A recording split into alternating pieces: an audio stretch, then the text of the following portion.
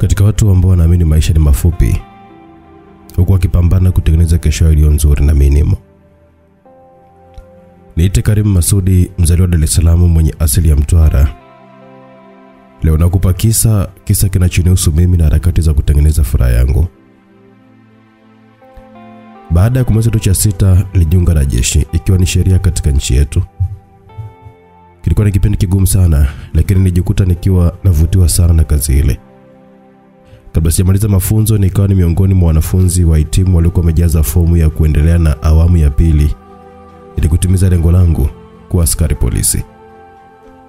Nilifanya kwa mapenzi licha ya kuwa kinyume na malengo ya mama yangu. Yeye alitamani kuniona nikiwa nafanya kazi ya kuokoa maisha ya watu wakati nimevaa koti jeupe na kipima joto shingoni, yani daktari, na sio sare za kaki na mtoto wa bunduki mkononi. Lakini ilibidi aniunge mkono tu kuhakikisha kwamba ndoto ya mwanaye haishi njiani. Babangu na familia nyingine, hivyo jukumu la kutupambania mimi na ndugu zangu lilibaki kuwa la mama pekee. Ilikazidi kunipa ari ya kupambana bila hata kuchoka, ili nije nimpokee mama majukumu. Kupelisao kama sisi tunapanga na Mungu anakuwa anatupangia. Mamangu alifariki nikiwa bado niko jeshini. Iliniuma mno mno, lakini sikuwa na uwezo wa kuweza kubadili ukweli kwa ndoto. Baada ya kifo chake niliamini kwamba hakuna tukio litakalokuja kuniumiza tena kwenye maisha yangu. Ilikuwa ni kosa ambalo lilikuja kuniadhibu maishani, kosa la kuamini kwamba hayupo kuniumiza tena. Basi nikapata kazi, matumaini mapya yakazaliwa. Kama ilivyokuwa kwa vijana wengine wenye malengo ya kuwa na nyumba nzuri, gari la kutembelea na mambo mengine mazuri kama kuanzisha familia, Karimu mimi ni miongoni mwa aina hiyo ya vijana. Kituo cha kwanza ikawa ni mkoa wa Tabora wilayani Urambo. Mkoa huu ni miongoni mwa mikoa yenye baraka za wanawake wazuri sana wanaomiliki sifa za kuitwa wife material. Yakanionyesha wengi wanaovutia, lakini moyo ukamchagua mmoja tu, Abigail. Hapo ndipo kurasa ya kwanza ya kitabu cha maisha yangu ilipofunguliwa, kurasa iliyobeba maandishi ya kila aina, furaha na huzuni pia. Abigail ni mwigizaji Upana tabasamu lake mbele ya kamera ni ushahidi tosha uliothibitisha kwamba ni kazi ambayo alikuwa anaipenda sana. Baada ya kumchunguza nikagundua ni yatima aliyekuwa amelelewa kwenye kituo cha watawa. Nikajitolea kuwa mlinzi wake bila hata yeye mwenyewe kujua. Sijawahi kumjali mwanamke kwa namna yote ile, lakini kwake nilikamatika. Hatimaye nikaanza naye urafiki, urafiki usiokuwa na maana nyingine zaidi ya kubadilishana mawazo. Urafiki ukanoga. Ni kipindi ndo niligundua kwa nini baadhi ya watu walikuwa wanasisitiza hakuna urafiki kati ya mwanamke na mwanaume. Hisia za mapenzi dhidi yetu zikawa zimeanza kuninyima usingizi, lakini swala la kumweleza likawa ni gumu mno. Abi sio mwanamke wa kumnasa kwa ushawishi wa maneno, maneno ya uongo na huzuni ya kutapeli. Ana misimamo thabiti, sio wa kulegeza cheki na mwanaume na hesabu hela. Nadhani makuzi na malezi alikuwa amemchangia kwa vile licha ya kupenda anachokifanya lakini bado alikuwa na chembe chembe za usista ndani yake. Kumtongoza mwanamke sio jambo gumu kwa mwanaume kama mimi. Nisiyekuwa na kumbukumbu za Rini niliwahi kukataliwa, lakini nilikuwa na hofu ya kuvunja urafiki wetu. Huenda hisia zangu angezitafsiri sivyo. Sikuwa na namna nyingine ya kuridhisha moyo zaidi ya kutegemea muda uje kuzungumza. Baada ya miezi sita urafiki wetu, nikawa nimepata nafasi ya kwenda kozi Moshi. Wiki moja ikatosha kunionyesha pengo la Abi. Nilikuwa mpweke kupindukia. Ukondoa ndo nilipogundua kiasi gani nilikuwa nampenda na kiasi gani moyo wangu ulikuwa umetekwa na mtoto wa Kinyamwezi, Abigail. Mungu si Athmani, kozi kamalizika. Niliwasiliana na Abi siku ya kurudi, nikamwambia kwamba nataka kuonana naye. Sikumficha namna nilivyokuwa nateswa na maisha bila uwepo wake. Furaha yangu yote nilikuwa nimeacha kwake. Kumbe hata alikuwa amehisi nimeondoka na furaha yake. Maneno yangu yakamfariji sana. Lugha ya picha baada ya kuonana ikawa inazungumza tofauti na tulivyokuwa tumezoea. Macho ya Abi inaonyesha kile tafsiri nzuri ya moyo wake kuhusu mimi. Sikwambia kwangu. Nilivyosogea karibu yake zaidi, mapigo yake ya moyo yaliongeza kasi mara kumi kila baada ya sekunde moja. Hadithi nzuri ya mahusiano yetu isiyokuwa na kichwa cha habari cha kutongozana ikaanza rasmi. Jamii ikatambua uhusiano wetu, tukawa tunatumika kama mfano linapokuja swala la watu wanaopendana kwa dhati. Miezi kadhaa mbele, Abi akapata ujauzito, furaha yetu ikaongezeka. Ingawa haikuwa ndani ya mipango yetu, lakini kwa vile anayepanda mchicha basi havuni mnavu, hatukuwa na namna. Tukaamua kufunga ndoa serikalini kutokana na dini zetu kuwa tofauti, na hakuna aliyekuwa anataka kumbadilisha ya dini. Kigezo cha imani akikuwa na nguvu kwenye mapenzi yetu. Ujauzito ulipofikia miezi mitano, kazini kwangu nikapokea amri, yaani oda ya kwenda kwenye misheni mpakani. Hapo ndipo kurasa ya pili ya kitabu cha maisha yangu ilipofunguliwa, kurasa iliyobeba maandishi ya aina mbili, kushangaza na maumivu. Msikilizaji, hapa ndipo tunapoianza rasmi simulizi yetu nzuri inayoitwa na, na mtaka mke wangu iliyotungwa na bibie mtaalamu wa hizi kazi Judith Kaunda. Inasimuliwa nami director Owen kutokea hapa Simulizi Maxi. Unapata simulizi kupitia YouTube channel ya Simulizi Fupi by Simulizi Max. Simulizi na nyingine nyingi zinapatikana ndani ya channel yetu. Hivyo hakikisha umesubscribe, una comment, una like na umeshare pia ili kuendelea kuwa mwanafamilia wa Simulizi Max, kuendelea kupata simulizi nzuri na tamu kutoka hapa Simulizi Max. Utajifunza na utaburudika vya kutosha na simulizi zetu. Tunaianza simulizi yetu kama anavyosema mtaalamu, anasema kwamba hapo ndipo kurasa ya pili ya kitabu cha maisha yangu ilipofunguliwa, kurasa iliyobeba maandishi aina mbili, kushangaza na maumivu.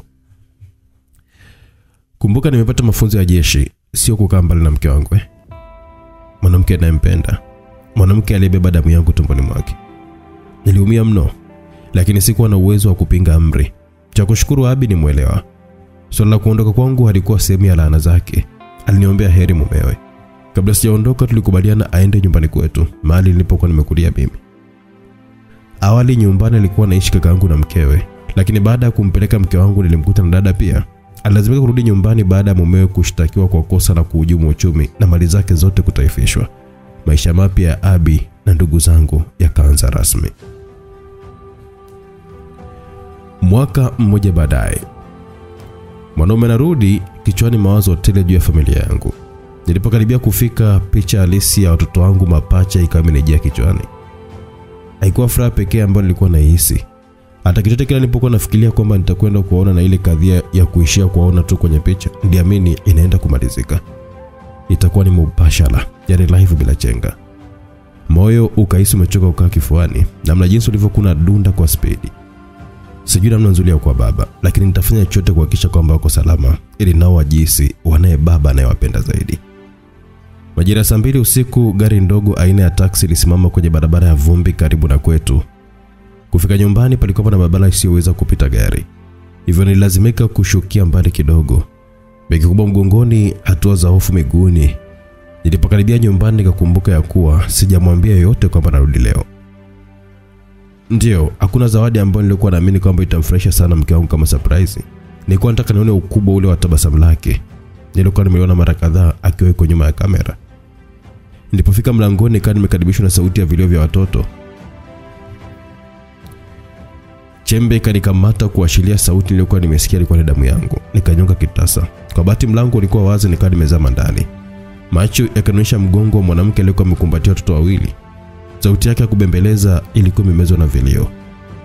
Akili kaniambia mkeo huyo, lakini kumbukumbu zikaniuliza toka lini ukawa na mke mnene kama hivyo? Nikaita Abi nikiwa nimeganda kwenye sintofahamu. Yule mwanamke aligeuka, hakuwa mke wangu kweli, wala alama yoyote ya kufanana naye. We nani? Aliniuliza, hofu yake kuhusu ujio wangu ikashindwa kabisa kujificha. Karim, Karim Masudi. Nilijibu, sauti yangu ikitoa mtetemeko kile ilipo inasafirisha alichokuwa nakizungumza. Asante Mungu, akasema na kusogea nilipo. Akaongeza, angalau watoto watapata malezi ya upande mmoja sasa. Kauli yake ikanishangaza mno, nikaona nibwage begi kwanza. Wasiwasi ukawa tayari umefanikiwa kuniibia kila nilichokuwa nimekifikiria kuhusu familia yangu hapo kabla. Tayatali iliyoashiria jambo lisilokuwa la kawaida ikawa imemulika ubongo wangu. Kichwani nilikuwa na maswali mengi mno ambayo majibu yake sikutaka yawe kama nilivyokuwa nayafikiria. Mke wangu yuko wapi? Niliamua kuanza na swali hili, nilimuuliza nikiwa nimemkazia macho. Hakuogopa, akaendelea kunitazama, lakini sekunde kadhaa mbele, ule ujasiri wa kutazamana na mimi ukaumumwisha, akaingiwa na huzuni na punde akaanza kulia. Simulizi msikilizaji, inaitwa Namtaka Mke Wangu. Kilio chake kikazidi kuniingiza kwenye kina cha sintofahamu. Nikawaza huenda mke wangu amefariki, lakini wazo hili sikutaka kabisa kulipa nafasi ndani ya kichwa changu. Nikamuuliza swali lile lile lilikuwa limemfanya angue kilio. Akanitazama, Akasema sifahamu alipo, sijawahi kumwona tangu nimekuja hapa. Akameza mate. Nimekuwa nafanya kazi za humu ndani pamoja na kulea watoto kwa bidii mno, lakini dada yako hajatimiza hadi yake, hajanilipa mimi, na mimi nahitaji pesa kwa ajili ya matibabu ya mama yangu. Nilizidi kuchanganyikiwa, napewa habari mbaya na nyongeza ya matatizo nisiyohusika nayo, lakini sikuwa na namna. Nilipaswa kumsikiliza mwenyeji wangu ili nijue wapi pa kuanzia. Nikamtuliza kwa maneno ya kumtia moyo, akatulia. Naomba niambie ukweli, wapi alipo mke wangu? Nilimuuliza kwa upole na nidhamu, hadi nikiwa namtizama. Kama ningefahamu mahali alipo, ningewapeleka wa watoto angalau wakamuone, alisema kwa masikitiko sana. Nikashusha pumzi. Dada je? Kaenda kwenye shughuli mtaa wa pili huko. Sikutegemea mapokezi ya aina hii kabisa, licha ya kutotoa taarifa za kurudi nyumbani kwangu. Ila surprise ambayo nilikuwa nimeikusudia imenigeukia. Nikampigia dada, lakini simu yake haikupokelewa. Taarifa nilizozipata hazikunitaka nikae hata sekunde moja bila kufahamu kinachoendelea. Nikatoka kwenda kumtafuta huko mtaa wa pili baada ya mtoto wa dada kunielekeza mahali shughuli ilipo. Nikiwa njiani nakumbuka ni mwezi mmoja tu nilikuwa nimeshindwa kuwasiliana na mke wangu. Kabla ya hapo tulikuwa tukiwasiliana vizuri na kwa furaha tele. Akijua kwamba zimebaki siku chache niweze kurudi nyumbani na hatukuwa na ugomvi wowote ule. Baada hapo hakupatikana tena, na mara chache nilipokuwa napata nafasi ya kumpigia dada, niliambia simu ya mke wangu ilikuwa imeharibika, lakini nisijali, familia yangu inaendelea vizuri. Sasa nini kimetokea na mke wangu yuko wapi? Nikajiuliza wakati nilikuwa naelekea mtaa wa pili, na baada ya kutembea kwa dakika kumi nikawa nimeanza kusikia mdundo wa mziki. Nikasogea zaidi, nikafika eneo la tukio. Palikuwa pamechangamka sana, ni kama wanawake wote wa mtaani walikuwa wako pale. Nilikuwa ni shughuli ya wanawake, sikutaka hata kusogea zaidi. Nilipokuwa nimesimama nikamwona binti ninayemfahamu, lakini sikutaka anione, hivyo nikawa nimevunga kama nimekosea njia hivi. Kwa bahati mbaya akawa ameniona, akanifuata. Wow, Karim, umekuja lini? Binti yule nikumbatia kwa bashia zote. Oh, Raya, mbona mimi nipo tu? Jamani Karim, hauna haja ya kunidanganya. Karibu kila siku naenda kwenu mimi. Alisema wakati akawa anajitoa kwenye kifua changu. Nimefika leo bana. Nikamjibu nikawa najilazimisha kutabasamu. Jamani Karim, nilikumisi sana. Alisema na yeye kitabasamu. Raya, kabla yote nahitaji msaada wako. Unajua siwezi kukatalia, niambie. Nadhani dada atakuwa yuko hapa. Unaweza kunitia? Usijali, kumleta sasa hivi. Aligeuka na kuelekea kwenye umati huko akiwa anachezesha makario yake licha ya kuwa na mambo mengi kichwani, lakini nikaliona hilo. Raya ni mcheshi sana na anajua udhaifu wangu ulipo. Mimi na makalio ni marafiki wa muda mrefu sana. Miaka mitatu iliyopita nilikuwa nipo kwenye mahusiano na binti huyu. Tulipendana sana na kutamani siku moja tuishi pamoja kama mke na mume, lakini wazazi wake hawakutaka hata nimsogele kwa madai bado anasoma. Nilitengana na Raya alipokuwa amekwenda chuo. Baada ya hapo ni kama nilikuwa nimempuuzia tu na hatukuwa na mawasiliano mazuri. Nilipokwenda jeshi ndo ukawa mwisho kabisa mawasiliano yetu. Raya amekuwa ni mzuri zaidi na kwa jinsi alivyokuwa amevaa na kujipamba ise alistahili sifa, lakini kiburi changu na mawazo niliyokuwa nayo kanifanya nimpotezee. Na punde mara baada ya Raya kujichanganya kwenye umati wa watu, nikamwona tena wameongozana na dada, wakasogea mpaka nilipo. Kwa mwonekano wa dada unaweza ukahisi kwamba yeye ndo ukungwi au mama wa mwali. Karimu mdogo wangu, hatimaye umerudi. Dada alisema kwa kana nikumbatia kwa furaha sana. Tabasamu langu la bandia likawa limekubali kunikataa tena. Baada ya kumbatiwa nikamuuliza, dada, mke wangu yuko wapi? Ilikuwa lazima nipate jibu, sio jibu tu bali ni jibu sahihi ili hatua za mapigo ya moyo wangu zirejee kwenye kawaida. Jamani Karimu, kwa nini kuniambia kama unarudi leo? Nimekusudia kuwafanyia surprise. Surprise gani na wewe? Akauliza, sauti yake ilikuwa imepanda kiasi. Hilo silo linaleta hapa. Kumbe wapi alipo mke wangu? Nilipandisha sauti kuliko ile yake. Wekundu wa macho yangu ukamwogopesha hadi Raya. Akatupisha.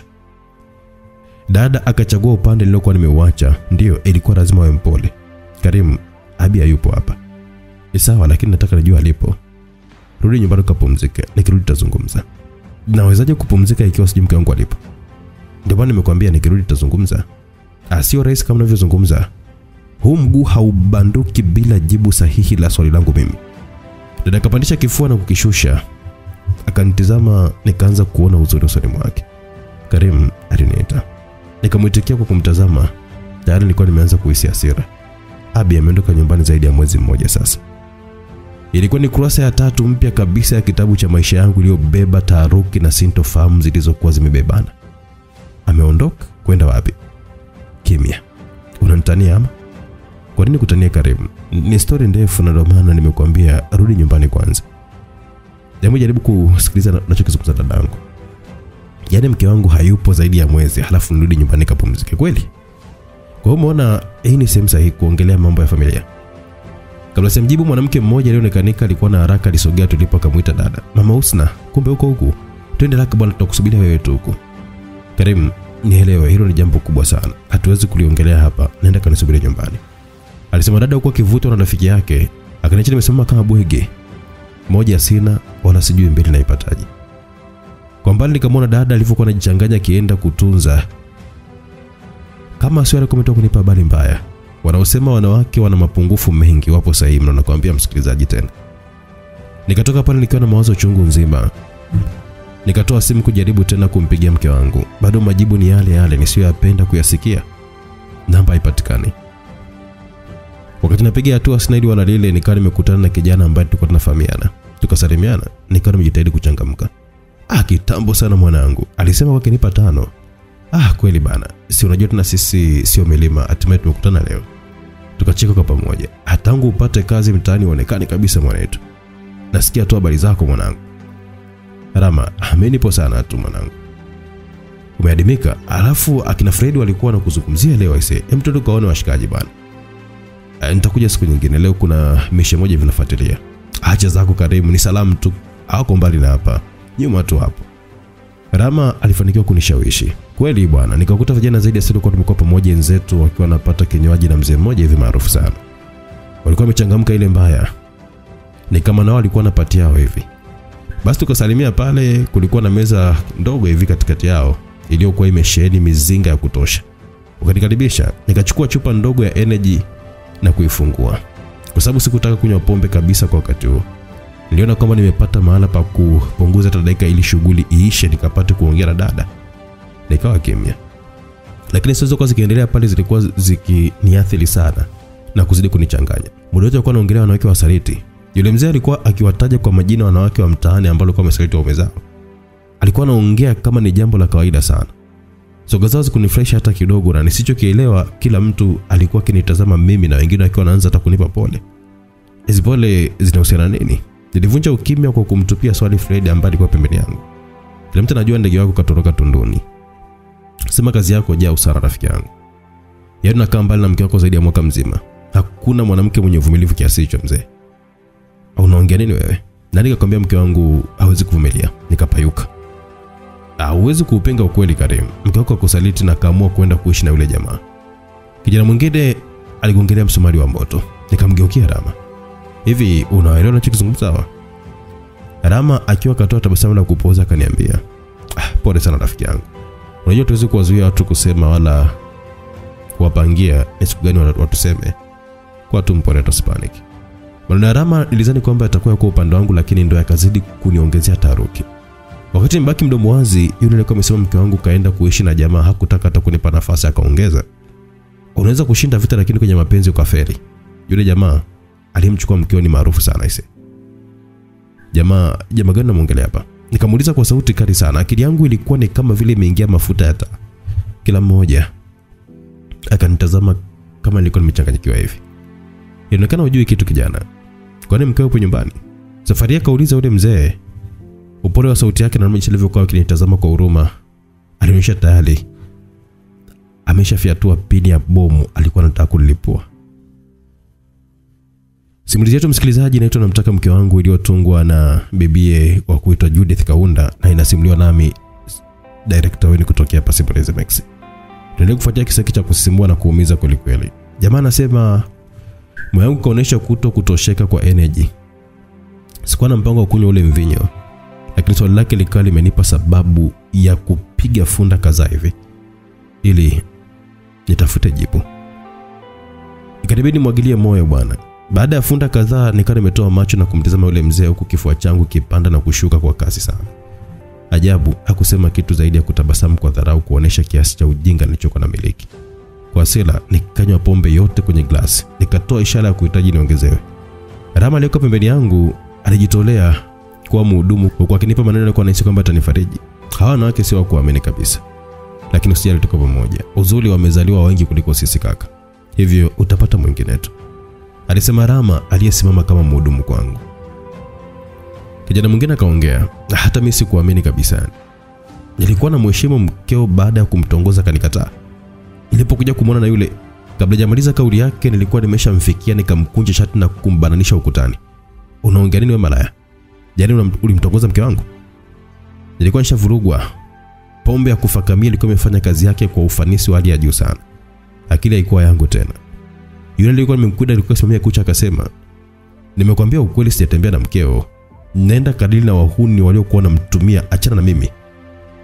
Hasira zikanipanda maradufu. Nyamaza mjinga wewe. Na wote ninyi hamjui vizuri mke wangu. Hivyo chungeni kauli zenu. Hivi mnajua tena nimemtoa? Mke wangu hawezi kufanya kitu kama hicho. Nilifoka. Karimu tulia, achana naye huyo. Akasema Rama akawa anaweka kiti ili niweze kukaa, nikakaa. Pamoja na watu wote kuwa kinyume na mimi, lakini bado nilikuwa namwamini sana mke wangu.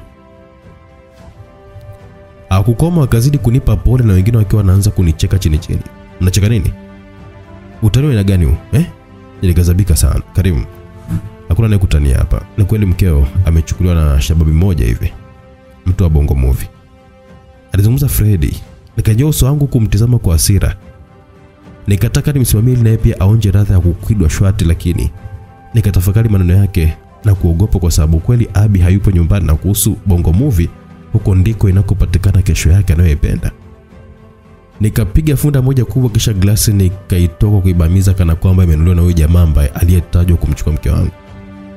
Niliponyanyua uso wangu nikagundua kwamba watu wote walikuwa wakiniangalia mimi. Nilichotamani ni kupasuka tu kwa ardhi ili nitumbukie. Asa glasi nikaona haifui dafu, nikachukua chupa nzima na kumwagilia moyo kwa fujo kweli kweli. Hebu acheni kuongea. Hivi amuone kama mwenzenu hayuko sawa. Alisema yule mzee na kutambulisha uwepo wake baada ya kuwa kimya muda mrefu. Akaongeza, Rama, mpeleke rafiki yako nyumbani. Rama akanishika bega pamoja na kunitaka niache kunywa. Nikatoa mkono wake begani kwangu. Rama, unazingua. Kwani umeleta hapa kufanya nini kama sio kunywa? Hebu niache. Akaniacha kweli. Baada ya muda nilikuwa niko chakali, nguvu za mwili zikawa zimenisariti.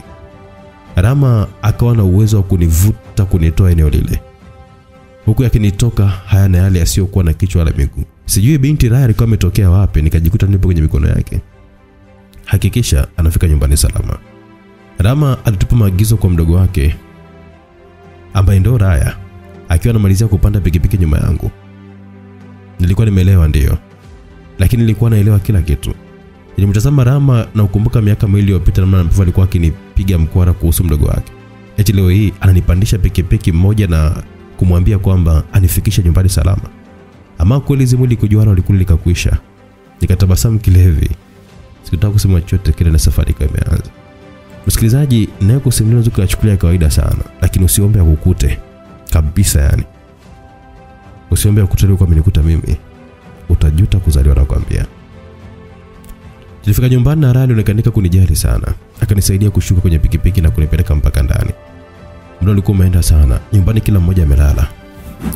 Raya akagonga mlango na punde mume wa dada akawa amekuja kufungua. Karimu, uko sawa? Akaniuliza baada ya kuniona. Nazije kuwa sawa wakati kila mtu anasema vibaya mke wangu? Hapa mjini watu kunyima kula, lakini sio maneno ndugu yangu. Jitulize Karimu. Nani umesikia kafariki kwa sababu ya maneno ya watu? Shemeji, namtaka mke wangu. Tafadhali niambie alipo. Nilisema kwa uchungu sana. Karimu, kama ningejua alipo, ningekuwa nimeshamrudisha. Nenda kapumzike, dadako akirudi atakwambia alipo. Abi, uko wapi wewe? Nilipaza sauti msikilizaji. Shemeji akamwambia Raya aende baada ya kunifikisha salama kama alivyokuwa ameagizwa na kaka yake Rama. Lakini Raya hakuwa tayari kabisa kuniacha. Weka Raya tu nitabaki na karibu alisisitiza. Acha nilipomwambia mimi nilikuwa sawa, nilikuwa napiga ngoma ndani ya maji tu. Raya hakutaka kuondoka. Shemeji akamwachia maagizo kwamba nipeleke kwenye chumba changu kisha akarudi chumbani kwake. Tukati mbaki wawili sebleni. Raya akanionyesha maana halisi ya kujari. Hakutaka kukaa mbali na mwili wangu. Harufu ya pombe na maneno yangu hakuvijari kabisa. Raya, hauna haja kujichosha. Sihitaji chochote kile kutoka kwako, tafadhali nenda nyumbani.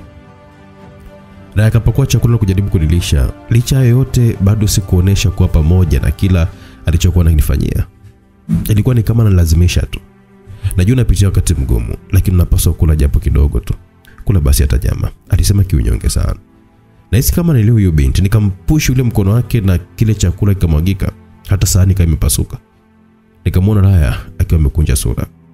Hutaki nyama, hutaki kachumbari, unitaki mimi. Sasa unataka nini wewe mwanaume? Aliuliza kwa masikitiko na kuonyesha maumivu yake, huku akiwa anaokota vipande vya sahani. Raya, mimi hapa namtaka mke wangu, unaweza kunisaidia hilo? Mke gani Karimu? Najua unaumia, lakini inabidi uvumilie tu, yeye sio mke wako tena. Raya alisema akiwa ananisaidia kunyanyuka na kunipeleka chumbani. Akanikalisha kitandani huku yeye naye akiwa anakaa pembeni yangu. Nikamtaka aondoke, lakini bado hakuonesha kutaka kuwa mbali na mimi. Unatakiwa kusahau kila kitu kuhusu mkeo, aliniambia. Unamaanisha nini Raya? Tumefunzwa kuyaacha yanayotumiza jana ili tuijenge kesho yetu. Ah, sina imani na kila neno nililoambiwa kuhusu mke wangu mimi. Utafanya nini kama ni kweli? Usinilazimishe ni, ni Raya. Sikia nikwambie Karim. Akasogea karibu yangu zaidi tukawa kama tumetangwa hivi. Umempoteza yeye mmoja na sio wote tulio duniani. Oh, kumbe ndo sababu uko hapa. Nikamuuliza kwa kebei. Akosha pumzi na kusema, nisamee Karim, sio siri, nilikumesi sana. Alisema na kunikumbatia. Raya, usifanye hivyo. Bado nakupenda Karim. Sijui nifanya nini, nashindwa kuweza kusahau kilichokuwepo kati yetu. Raya, mimi sio karibu yule ambaye nilikuwa nimekosa hazi kwa wazazi wako. Ulikosa hazi kwa wazazi na sio kwangu Karimu. Nishaoa tayari. Na huna haja ya kunikumbusha. Nalijua hilo. Lakini watu wanaoa ili wapate furaha na sio huzuni ulionayo wewe. Yupo wapi sasa huyo anayekuumiza? Wakati unatakiwa kuitafuta furaha kwa mtu anayejali. Nani huyo? Mimi hapa, Raya. Nikanyamaza. Katika watu wanaojua kutumia madhaifu ya wengine vizuri ili wapate faida, Raya ni miongoni mwao. Mara baada ya kuona ameanza kuninasa kwa maneno yake, hakulegeza kamba. Acha kumfikiria mkeo tafadhali. Jaribu kukumbuka zile nyakati nzuri tulizokuwa tuko pamoja mimi na wewe. Yakumbuke yale mapenzi yetu ambayo alifanya wengi wakatamani kuwa sisi. Alichombeza. Raya, umetoka kuniambia niache kukumbuka ya jana ili nijenge kesho yangu. Umesahau? Haujanielewa. Mabaya ndio tunatakiwa kuweza kuyasahau na sio mazuri. Lakini kabla sijamaliza, Raya akawa ameweka kidole cha shahada katikati ya mdomo wangu kunizuia niseme kitu, kisha kama nibusu. Akaongeza, haustahili kuumia peke yako, acha nihisi maumivu ulionayo. Hapana Raya, hapana. Nini? Unajua mimi na wewe hatukuwahi kuachana, tulikuwa tunasubiliana tu, na huu ndo mwisho wa subira yetu. Sasa mwanamke akitaka lake bwana, mwanaume unahitaji nguvu ya ziada kuweza kumshinda. sidi viumbe dhaifu sana mbele yao, hatuna ujanja, hasa kwenye swala la mapenzi. Maneno yake ya kudeka na vile alivyokuwa anapitisha mikono yake kwenye mwili wangu, nilikosa namna ya kumzuia. Hisia- Hisia zikanitumbukiza kwenye ulimwengu ambao nilikuwa nimeukosa kwa mwaka mzima. Lakini ndaya, hili sio sahihi. Nilirusha jiwe gizani bila matumaini ya kumpata yoyote, hata sijali. Akazidi kunipapasa, akaenda mbali na kusogeza kinywa chake karibu na changu, akiwa kwenye wingu zito la hisia kuvuza kumzuia nikawa nimekosa kwa kweli. Tukajikuta tulikuwa tunabadilishana mate. Kumbuka na zaidi ya mwaka sikutana mwanamke. Hili hata malaika wa heli wanalijua kabisa. Labda kwa dua za ostazi na maombi ya padri ndo ambayo angeweza kunizuia kunasa kwenye makusudi ya Raya. Lakini binafsi sikuweza jamani. Nikapewa kile kinacholiza wengi kwa furaha. Nikaonyeshwa kwa vitendo maana ya ukisema cha nini. Raya alijua hasa kuipika upya akili yangu mimi alihakikisha kwamba nafuta kumbukumbu zote mbaya kwa wakati ule. Huenda ni kweli hatukuachana, bali tulikuwa tunasubiriana, na yeye ndo haswa alikuwa ananisubiria mimi. Sijui singizo ulinitekea muda gani. Nilikuja kuamshwa asubuhi na kelele za watoto. Kona zote za chumba Raya hakuwepo. Nikajiuliza kaenda wapi, lakini sijapata jibu. Nikapotezea. Wakati nanyanyuka, nikawa nimehisi maumivu ya kichwa, nikawa nimeshuka kitandani na kuchukua nguo zilizokuwa ziko chini nikavaa. Nikatoka mpaka kwenye chumba alichokuwa watoto, nikamwona Abi akiwa amebeba mtoto na mbembeleza.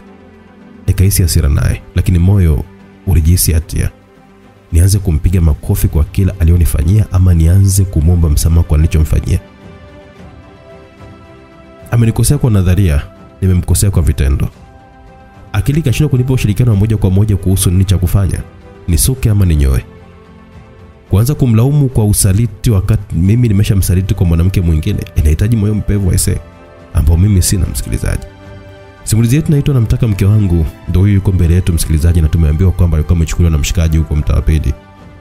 Nini kilitokea? Judith Kaunda ndio mtunzi wa simulizi yetu tamu kweli kweli. Director wenu kutoka Simulizi Mexi ndio naye kusimulia mkasa huu. Wakati nikiwa nimetekwa na bumbuazi nisijue nifanye nini, ghafla nikawa nimeshtushwa na salamu. Karimu, uko poa? Salamu ikatoka kwenye mawazo, akili ikarejea. Mbele ya macho yangu alikuwa amesimama Raya nyie, na sio mke wangu kama nilivyokuwa nawaza. Nikajisonya kimoyomoyo, huku nikiwa naona jinsi itakavyokuwa ngumu kuishi bila Abi. Nikamtazama Raya namna alivyokuwa ameweka kea sana kwa wanangu, alikuwa na wajali mno, huku nikitamani sana angelikuwa ni mke wangu Abi, lakini sikuweza kubadilisha ukweli kuwa ndoto. Katu sikuweza. Baada ya muda watoto wakatulia.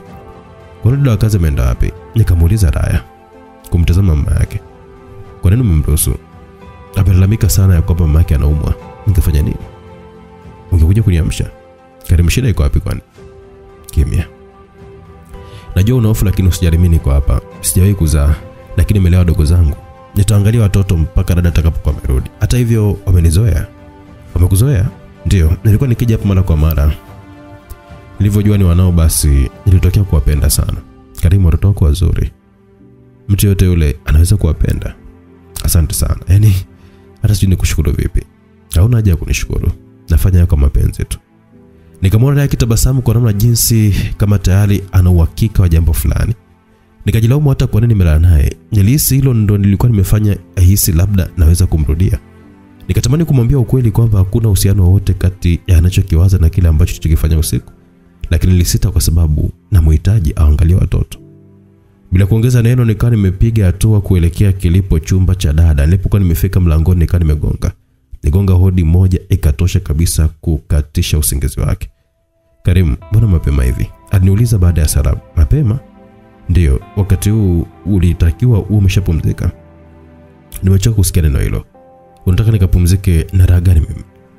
Basi sawa, nitakwambia kila kitu. Tangulia sebule linakuja. Dakika za sebule ikawa imetambulishwa uwepo wetu. Unataka kujua nini? Dada aliuliza. Nataka kujua alipo mke wangu. Na huu uvumi unaendelea mtaani una ukweli kiasi gani? Karibu mdogo wangu, ulikuwa unajua kama mkeo ni msanii? Nilisitikisa kichwa kukubali nikiwa natazama chini. Mdogo wangu na vituko sana. Sijui hata ulimtolea wapi ule binti jamani. Akanitazama. Hivi uliona nini cha zaidi kwake? Nikawa kimya. Sikuweza kujibu swali la dharau zidi ya mwanamke ambaye nilikuwa nimemchagua mimi. Akaendelea. Nilikuwa nadhani kwamba ni mtu makini sana. Sijui aliwezaje kukulagai mpaka ukamfanya kuwa mke. Nimeamini uchawi upo. Na anasema kitu kingine, lakini Abi hajui chochote kile kuhusu uchawi. Eti bado unamtetea hivyo? Uone kama amekufanya zuzu. Karim, umejichanganya sana. Kama ulizani baada ya kumzalisha atatulia, ulijidanganya sana. Jasiri haachi asili yake hata siku moja. Utaniambia kilichotokea au utaendelea kunitisha? Mpaka hapo nilikuwa nimechoka kumsikiliza. Mbona hata bado sijakutisha? Alisema kana tutengeneza vizuri dada lake, akaongea. Lakini sikushangai, hata mimi nilipokuwa sijui chochote kile, nilikuwa namuona mstaarabu sana, mpole, kumbe ni nyoka.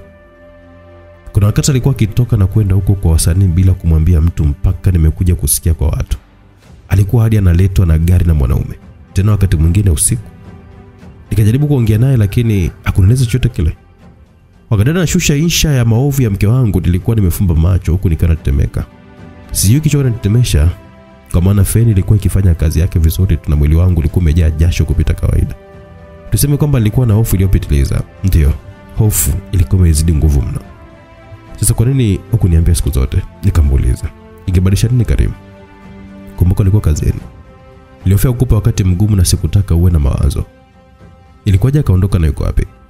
Amechagua kuwa msanii mbele ya kulea mume na watoto wake. Na alipoamua kwenda hakutaka kurudi tena. Nimeteseka na watoto hadi nikashindwa kwenda kazini. Baada ya kujua alipo, nilikwenda kumbembeleza arudi nyumbani, lakini hakutaka hata kunisikiliza mbele za watu. Alijifanya najua kabisa. Ulikwenda kumwona wapi? Ilikuwa Buguruni, lakini sikumbuki ilikuwa ni sehemu gani. Nani kupeleka huko? Karimu, hebu acha kuniuliza kama mwarifu. Nimekwambia hivi, nilimtafuta nikaelekezwa huko. Aliyekuelekeza ndo namtaka. Mkeo humtaki tena? Dada, inatosha. Nitaenda kumtafuta mwenyewe. Nikanyanyuka. Unaenda kufanya nini huko? Niache. Sikushauri ufanye hivyo. Kubali Abi hakutaki tena. Nataka kuzungumza naye. Nataka nimsikie akiwa ananikataa kwa kinywa chake mwenyewe. Nataka niambie kwa nini nifanyia hivi. asizani kama ni wazo zuri kwenda huko. Wanao wako hapa, unaweza kuendelea maisha yako bila yeye. Ni kweli karimu kubali aishi, usiende tafadhali. Laya alisema na kusogea tulipo. Nilikuwa bado nazunguka moja ikae mbili haisogei, yaani sielewi. Mara naye akawa ametokea chumbani kwake na kunisalimia. Habari ya asubuhi. Shemeji, hii asubuhi haina uzuri wote ule. Karibu na kuelewa, lakini mimi nadhani ni bora ukazungumze naye huenda. Kabla shemeji hajamaliza sentensi yake, dada kama amemkatisha. Huenda nini? Abia na mwanaume mwingine. Unataka wakazungumza kitu gani labda? Akasema kwa kufoka dada. Mke wangu, hauna haja ya kukuza ili jambo kiasi hicho. Karimu sio mtoto, unajua anachotaka. Baba Husna, bora ungenyamaza. Nimeshuhudia yule binti akiwa na msaliti mdogo wangu, lakini we bado unamtetea. Yaani linapokuja swala la Abi unageuka kuwa maraika, si ndio? Hakuna sehemu iliyosema kwamba hana hatia, lakini yule ni binadamu, anaweza kufanya makosa kwa bahati mbaya. Binadamu gani unazungumzia hapa? Kwani tangu aondoke umeona amekuja kuomba radhi hapa? Mke wangu, nilichokuwa namaanisha Karimu sio mtoto, anaweza kufanya maamuzi yake. Marumbano yao kama inaongezea maumivu ya kichwa, na kingine sikuwahi kuona dada akiwa mkali kwa mumewe kama siku hii. Karim, hakuna utakachokipata kwake zaidi ya maumivu. Abi wala hajuti alichokifanya. Kama akumbuki watoto aliowazaa mwenyewe, atakukumbuka wewe mliyekutana ukubwani, alisema dada. Manake kazidi kunichanganya, nikarudi kukaa kwenye sofa. Hata shemeji alikuwa amekosa cha kusema, wakati mvutano wa maneno ukiwa umeshika. Hata Mraya akasema, jamani, mimi naenda, watoto wamekula chakula na kulala, naweza kuja baadaye. Asante sana kipenzi, yaani hata sijui bila wewe ingelikuwaje. Usiache kuja wifi yangu, na kutegemea sana. Dada alisema kwa na nyanyuka na kumsindikiza. Mimi na shemeji tukawa tumetazamana kwa mshangao baada ya kusikia dada akimwita Raya wifi. Karim, nadhani unachojaribu kufanya dada yako, nawe fanya unachoona ni sahihi. Nataka nikamwone Abi, lakini sijui nampata wapi. Subiri tutajua. Husna amewahi kunionyesha picha za mtandaoni, tunaweza kupata kitu. Shemeji alisema akiwa ananyanyuka kwenye sofa na kuelekea kilipo chumba cha binti yake, akasimama mlangoni na kumwa kumgongea. Jamani baba, unataka ni asubuhi yote hii? Husna akafungua mlango na kulalamika, na mimi nikawa nimesogea alipo. Husna, ah, kuna swala nyeti hapa. Unakumbuka jina la yule director aliyekuwa ameposti picha ya Abi?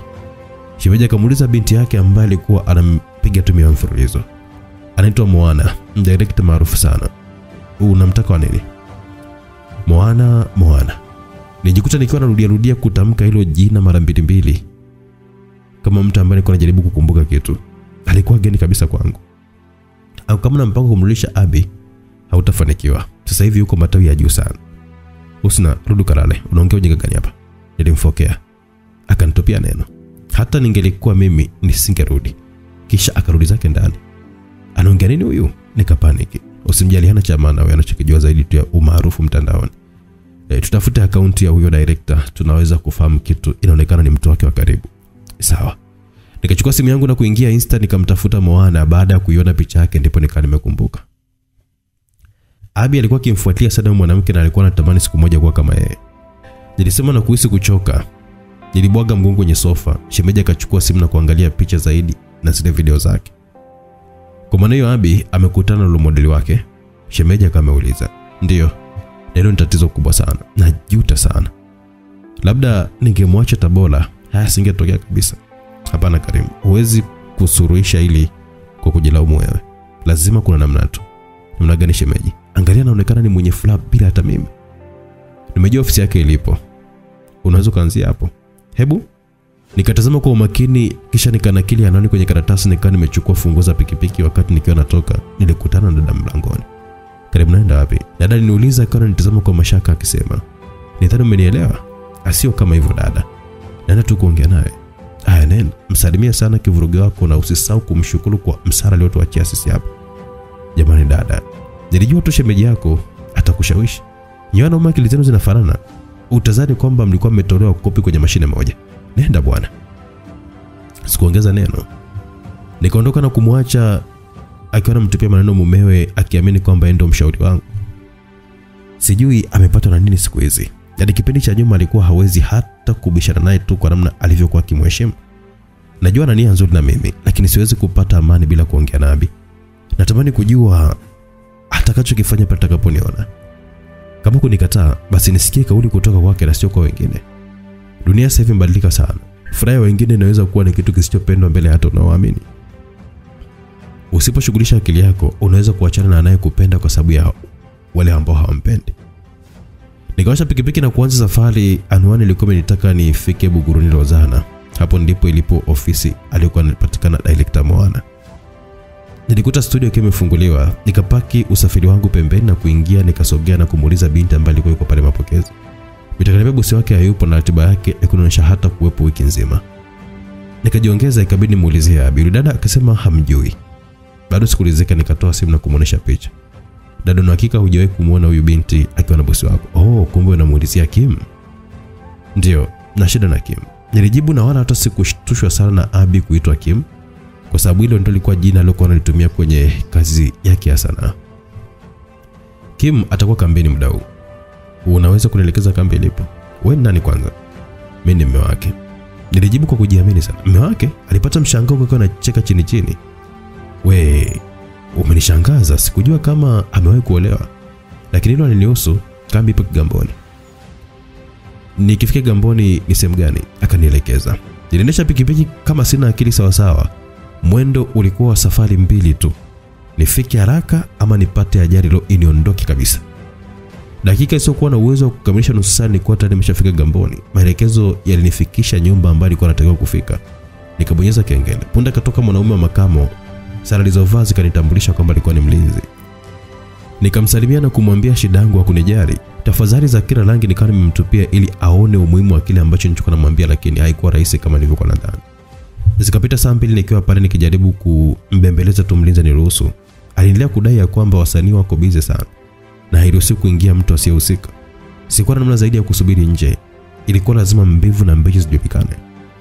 Saa zikasogea mpaka ilifika saa saba mchana, niko pale pale na hamu yangu kubwa ilikuwa ni kumwona tu Abi. Ilipofika saa kumi kasoro, mlinzi alifungua geti na gari ndogo zikawa zinatoka.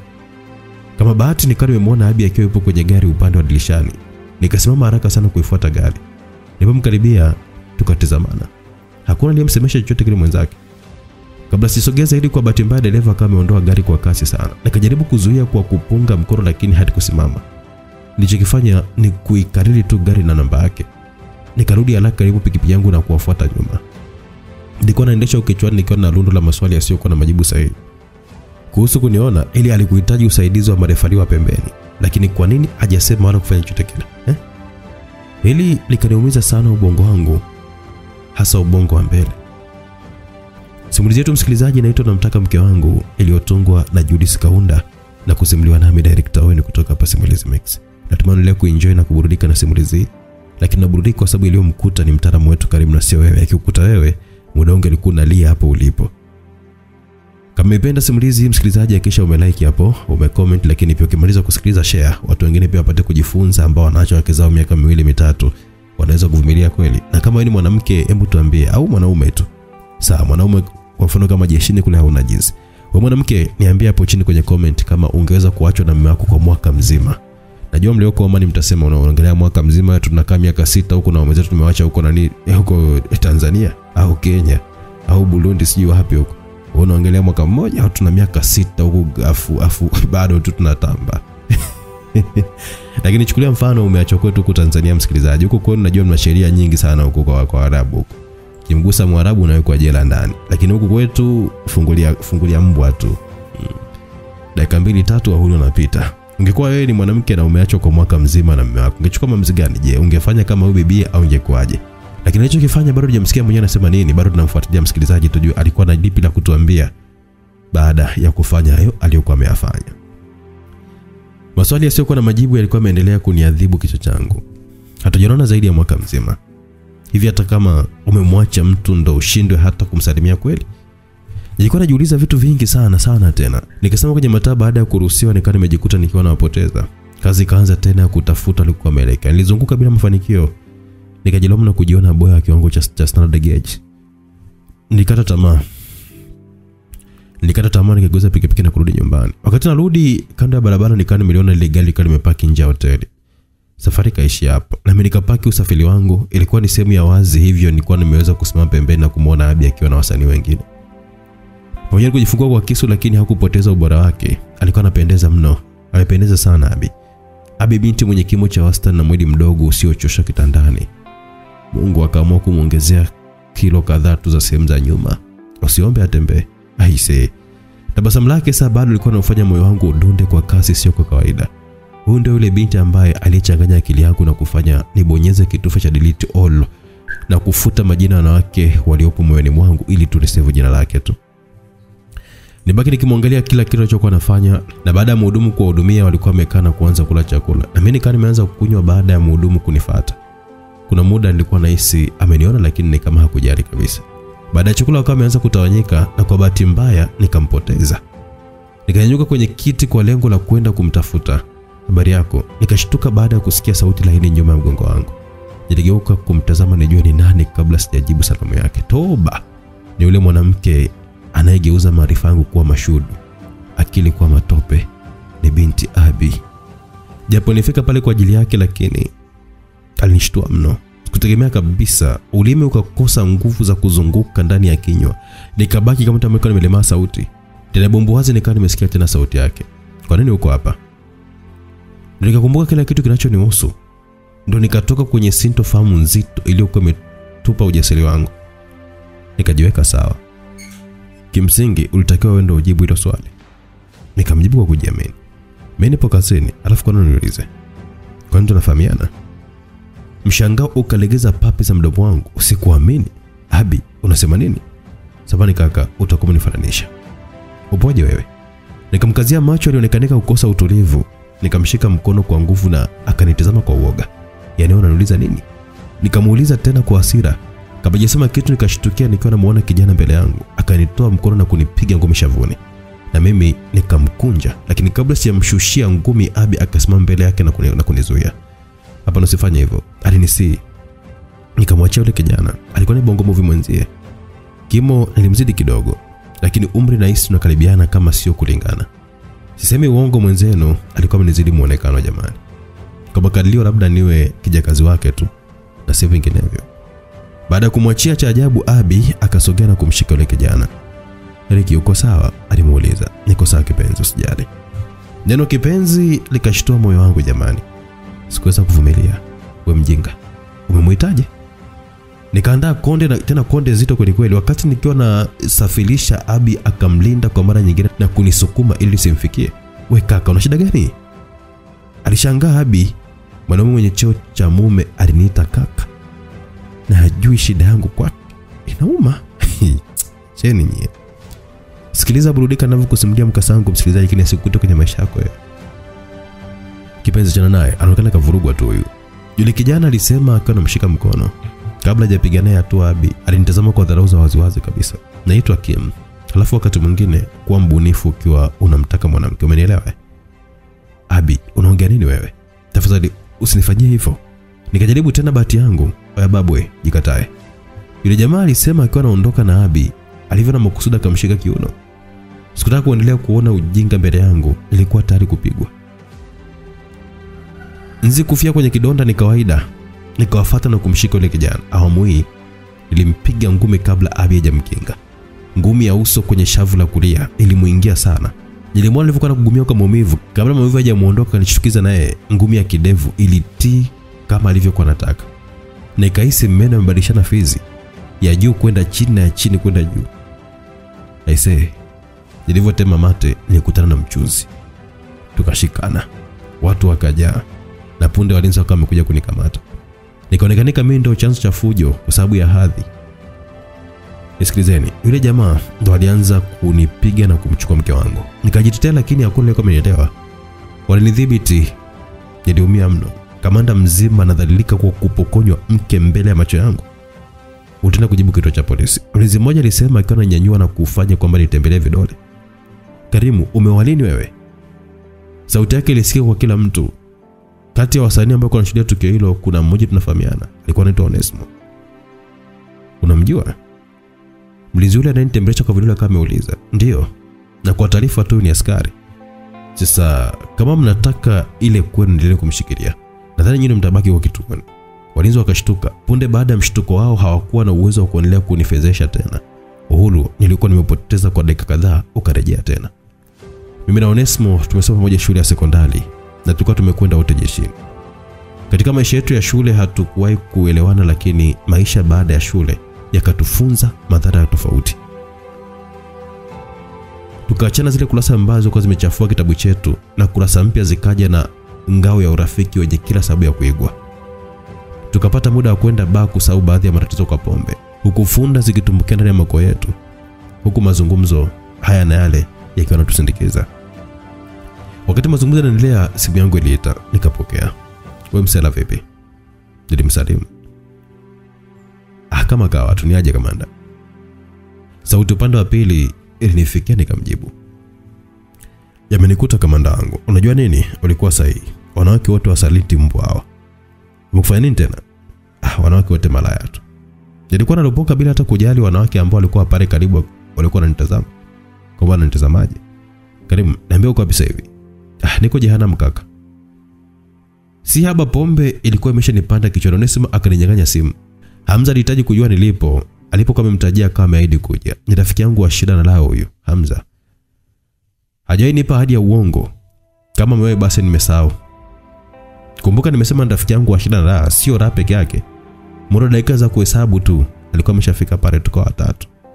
Nikamwambia kila kitu kama nimevurugwa sana. Hakuna tulichokuwa tunakiongea zaidi ya kuwasema vibaya wanawake. Bahati mbaya sana wote ni wahanga wa mapenzi, kila mmoja alikuwa ameumizwa kwa wakati wake. Hamza alikuwa kunisema jinsi mke wake alivyokuwa amemsaliti baada ya kukaa miezi sita mbali na yeye.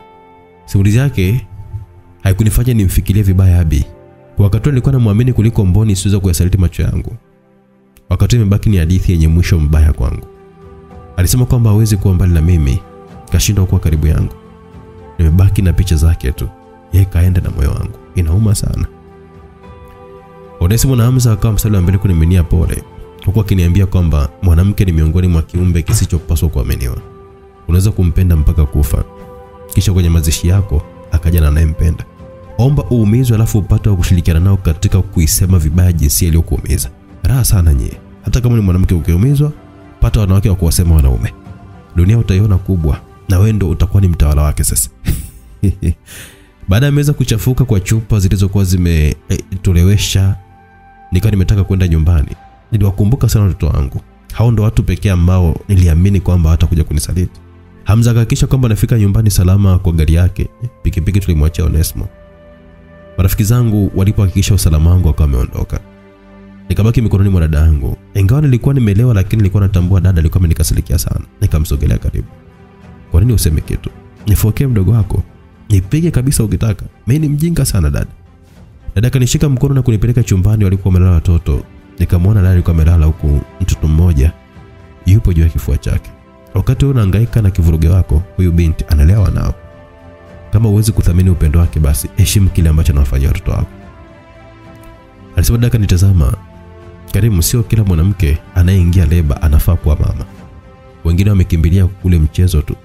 Raya hajakulaumu baada ya kujua kwamba umeoa na bado anawatendea vizuri wanao. Hivi ni wapi utapata mwanamke kama huyu? Dada kunipa nafasi ya kuongea, akaondoka na kuniacha pale ndani. Nilihisi kuishiwa nguvu, nikasogea mpaka kitandani, nikapiga magoti, nikamwangalia binti yangu Faidha. Hapa ndipo nilipogundua licha ya kufanana na mimi rangi, lakini amefanana sana na mama yake, midomo na uso mpana, ni Habib tupu. Moyo wangu ulizidi kuumia kila nilipokuwa nakumbuka tukio lilokuwa limetokea mjana, tukio la kuonekanika si kitu mbele niliyefanya kila kitu kwake. Machozi yakashindwa kubaki alipo, taratibu yakaanza kushuka mashavuni mwangu. Naombeni mnisamehe sana wanangu, ni makosa yangu kuwachagulia mama si wajali. Nilisema nikimpapasa binti yangu mgongoni, sauti ikamwamsha Raya. Akafumba macho na kunitazama. Karim, aliita. Macho yake yasiyokuwa na ukubwa wa kutisha, akanitazama uso wangu uliokuwa na huzuni sana. Umelewa tena kwa sababu yake? Akaniuliza, nikainamisha uso chini. Akaongeza, mpumbavu ni yule ambaye anaendelea kuisujudia huzuni isiyompa nafasi ya kujitetea.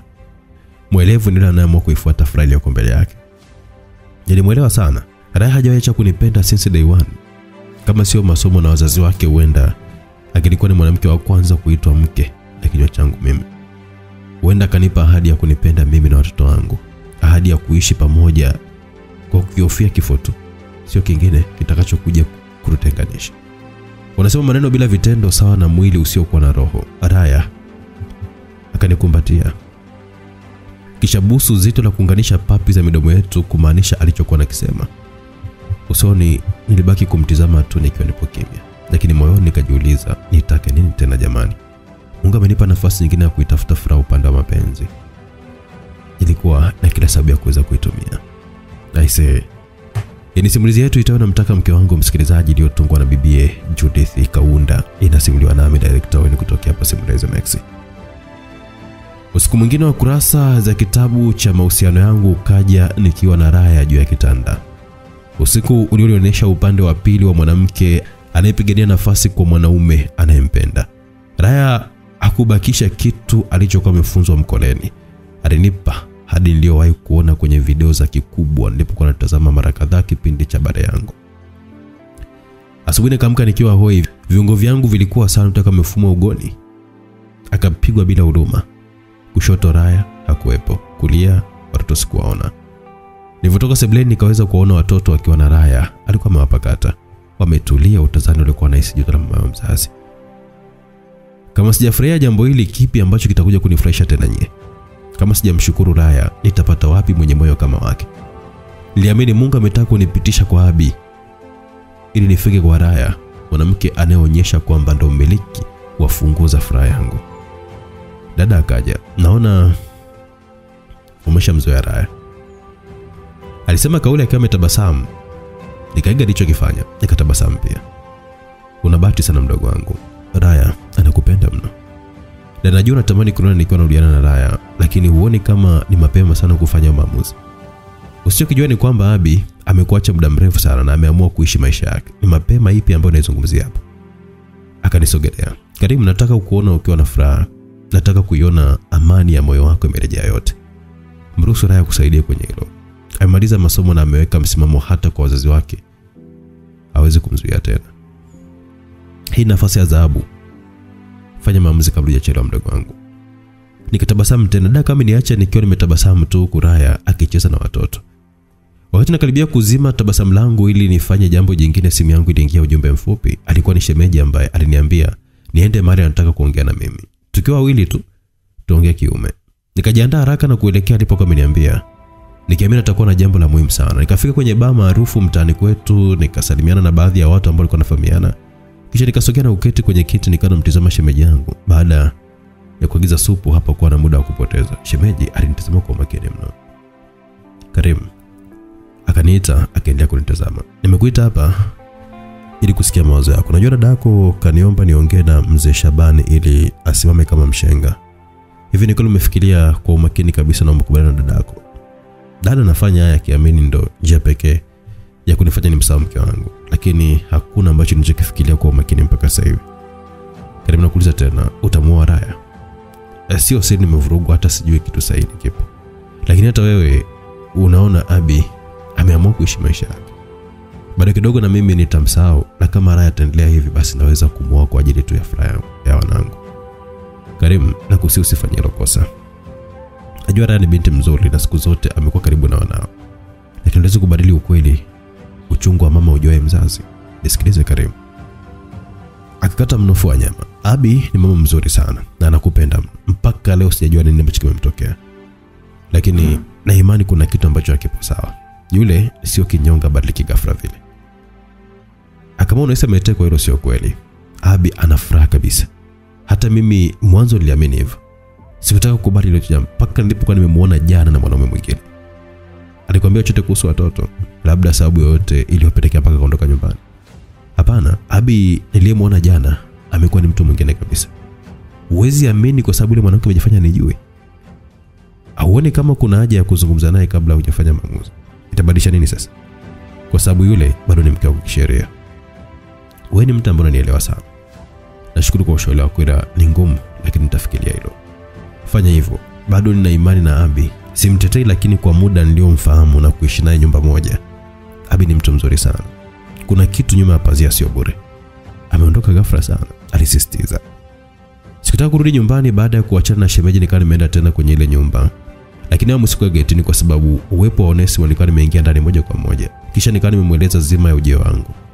Onesimo akanitaka nisubiri mahali wakiwapo kwenye mapumziko takuonyesha na Abi. Nilikaa kwenye bustani iliyokuwa imekoza ki- ukijani.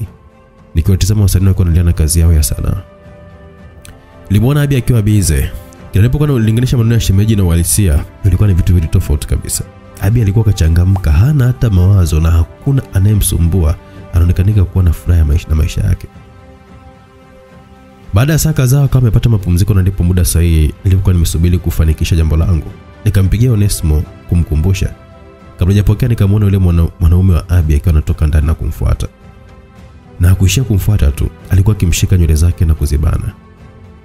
Kilichoniuma zaidi, akampiga busu mdomoni, busu ambalo lilikuwa limetengeneza furaha kwao, huzuni kwangu.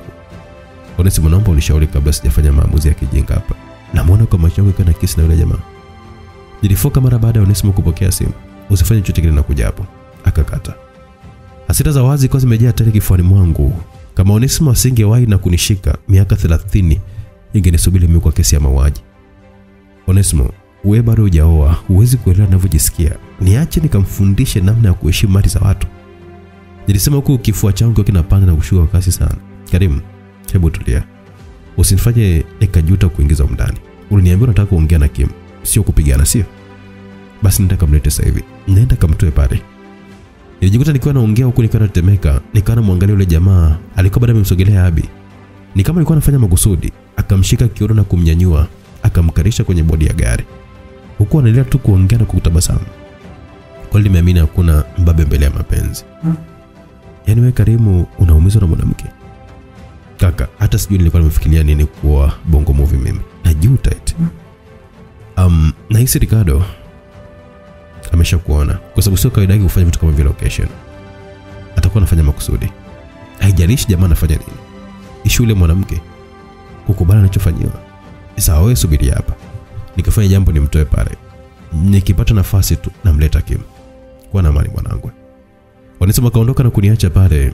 Nilimwona yule jamaa akiwa anamganda Abi, hakuweza kumwacha hata kwa dakika moja, mpaka muda wa mapumziko ukawa umeisha, akarudi kazini. Wakati kila mtu yuko bize na kile ambacho kinachoendelea, yule jamaa akanifata. Hapo ndipo nikaamini ile maneno ya Onesimo kwamba jamaa alikuwa ameshaniona. Sema anaoganizi sana, yaani umekuja hadi huku. Ricardo alisema akiwa anakaa kwenye kiti pembeni yangu. Ni vyema tukafahamiana kwanza, naitwa Karim, ni mume wake. Nilisema kwa ujasiri nikiwa nampa mkono. Asema ulikuwa mume wake, kwa sababu ni mpenzi wangu. Naitwa Ricardo. Alisema akinipa mkono. Nilikuwa na mpango wa kuuminya, lakini kwa majibu yake alifanikiwa kuuminya moyo wangu panapouma. Nikatoa mkono wangu na kuushusha kinyonge sana. Ricardo akanisogelea na kuongea kwa sauti ya chini. Nisikilize vizuri, hauna nafasi tena kwenye moyo wake. Unamwona ana amani sasa, ondoka na usirudi tena hapa. Mpuzi, ndoga nakimbia. Kama usijai kuwa mpuzi hivyo huwezi kunitisha. Abi bado ni mke wangu kisheria na tuna watoto, kwa hiyo siwezi kumwacha kirahisi namna hiyo. Kim amenificha kuhusu wewe, lakini namwelewa kwa sababu kafungua kurasa mpya wa maisha yake. Hataki kusikia chochote kile kuhusu wewe wala familia yako.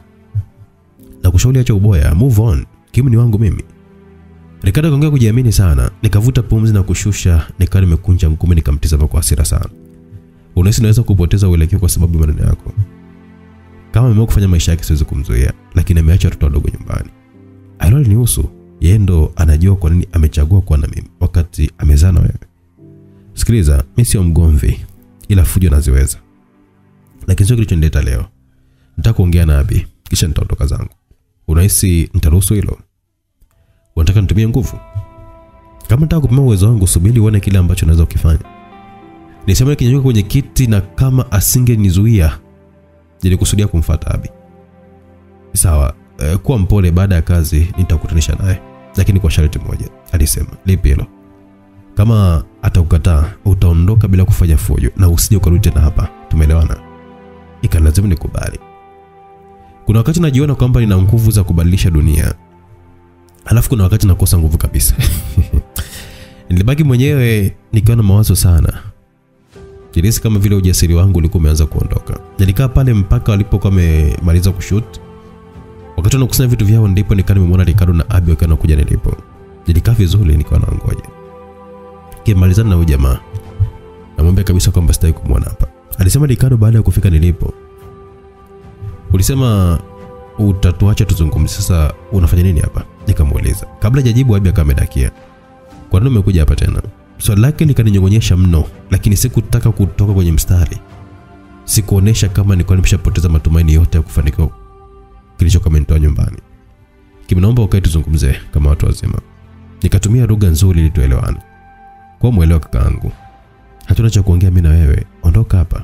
Abi alisema bila wasiwasi kabisa. Iliniuma mno. Abi bado ananikana mbele ya mwanaume wake.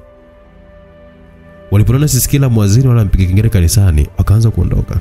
Tafadhali Abi, usifanye hivyo. Nikalamika huku nilikuwa nashika mkono wa Abi, bala akaja Onesimo.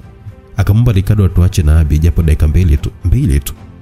Kwa sababu ya Onesimo Ricardo aliku, alikubali kutupisha. Nikamtizama Abi kisha nikamwambia, wala simuzi nyakati nzuri ambazo tulizopitia pamoja ambazo zimegoma kufutika kwenye kumbukumbu zangu, lakini sikufichi, naumizwa na mahusiano yako ya sasa unayotumia kama fimbo kwako. Hata sijui naongelea nini. Mimi naona unafanya maigizo Tukio kweli unafaa, lakini bahati mbaya hatuhitaji msanii kwa sasa, yote kwa sababu nakupenda Abi, na kama ukupenda ni kosa lisilosameheka, naomba nichagulie adhabu nyingine tofauti na hii ya kunikana. Au basi nieleze hitaji lako la kwanza tofauti na upendo wa dhati ambao unaolitaka kutoka kwangu. Ili nijue nakosea wapi. Nahitaji kutoa nje ya hisia zangu lakini siwezi nihurumie. Abi alishikilia msimamo wake wa kunikana licha ya kumpigia magoti bado alisema kwamba nimemfananisha. Nikaendelea kumshikilia huku nikiwa namwambia maneno yote mazuri. Lakini hakuonyesha kujali zaidi ya kunishangaa. Kwani wewe ni nani? Akaniuliza kwa dharau. Karim Masudi, mwanaume uliwahi kumwambia huwezi kuishi bila yeye. Ajabu haupo naye na bado hujafa. Karim, wewe ni mwigizaji mzuri sana. Huo utani wako ukiufanya mbele ya kamera utapiga hela nakwambia. Mbona najibu kirahisi? Huu sio utani mke wangu. Kwa nataka nitumie nguvu? Sikumbuki maisha nikiwa mke wa mtu mimi. Kweli Abi, umeamua kusahau kila kitu sio? Hebu gusa sehemu ya moyo wangu hapa. Nikasema nikiweka mkono wake kifuani mwangu, Abi akauondoa bila kusema chochote kile. Nilishiwa nguvu, mwanaume nikaamua kumwachia naye. Hakusita kuondoka, nikabaki nimepiga magoti, mwili umechoka kama utumbo. Acheni nyie, acheni kabisa. Msikilizaji, unasikiliza simulizi iitwayo Namtaka Mke Wangu iliyotungwa na bibia Judith Kaunda, inasimuliwa nami Director Owen kutokea hapa Simulizi Mix. Jamani, hakuna rangi ambayo niliacha kuiona, maana harisi ya maumivu niliiona. Na mambo yasikie kwa wenzako tu, usiombe akukute ndugu yangu. Onesimo alinyanyua na kunitoa pale, nikajisikia vibaya mno. Kila aina ya tusi ilinitoka mimi. Pole sana, hii ndo dunia kaka. Haijawahi kuwa na mapenzi ya kweli. Kauli ya Onesimo ikawa imenipa ari mpya. Kwa kiasi fulani nikawa nimepiga konde moyo wangu. Baada ya kufika nyumbani, niliwakuta dada na shemeji sebuleni wakiwa wanaangalia mpira. Kila nikikuona kwenye hali kama najua tu tayari Abi kashafanya yake. Dada alisema akiwa ananitizama, shemeji, umeshaongea na mzee Shabani? Nikamuuliza nikiwa nabweteka kwenye sofa. Hapana, nenda kaongea naye sasa hivi ili kesho mkamilishe ile jambo. Karimu, uko sawa? Shemeji akaniuliza kwa sauti ya chini baada ya kusogea nilipo. Hebu fikiria kwa makini, aliongea. Hakuna tena kilichobaki kati yetu, yamekwisha. Nikaongea kwa sauti, Karimu, nenda ndani ukapumzike, unaonekana umechoka. Ukiamka tutazungumza. Wewe mwana tatizo gani? Hivi hujasikia alichokisema? Kwa uko unasema ndugu wangu? Yaani unataka ateseke miaka yote na huyo kahaba aendelee kufurahia maisha, si ndio? Dada kama amefoka. Hivi uone hali yake. Hatakiwi kufanya maamuzi akiwa iko hivi. Shemeji alikuwa anahitaji kuongea kistaarabu lakini hakuna aliyekuwa anamsikiliza. Kwa nini namwona ameelewa hapo? Fanya alichokwambia bwana. Nitamua Raya. Dada, fanya maandalizi yote, nataka hivi karibuni. Nilisema na kunyanyuka. Dada kaonesha kupendezwa na kauli yangu, akapiga vigelegele vya furaha. Asubuhi ya siku mpya, kabla sijatoka kitandani, nilikumbuka matukio ya jana. Moyo haukuacha kuuma.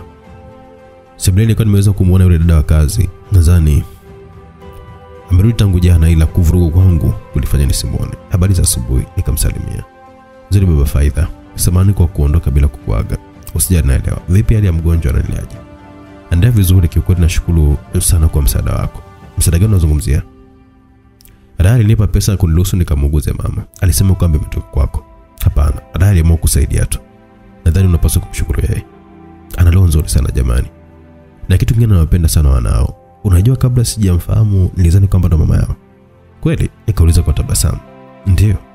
Atakuwa nakupenda sana. Nikarudi zangu chumbani nikiwa ni mwenye furaha mno. Nikafungua drawer ya kabati na kutoa albamu ya picha zangu. Kulikuwa na picha nzuri nimepiga na Raya tukiwa tuko shuleni. Tulikuwa tunapendana mno.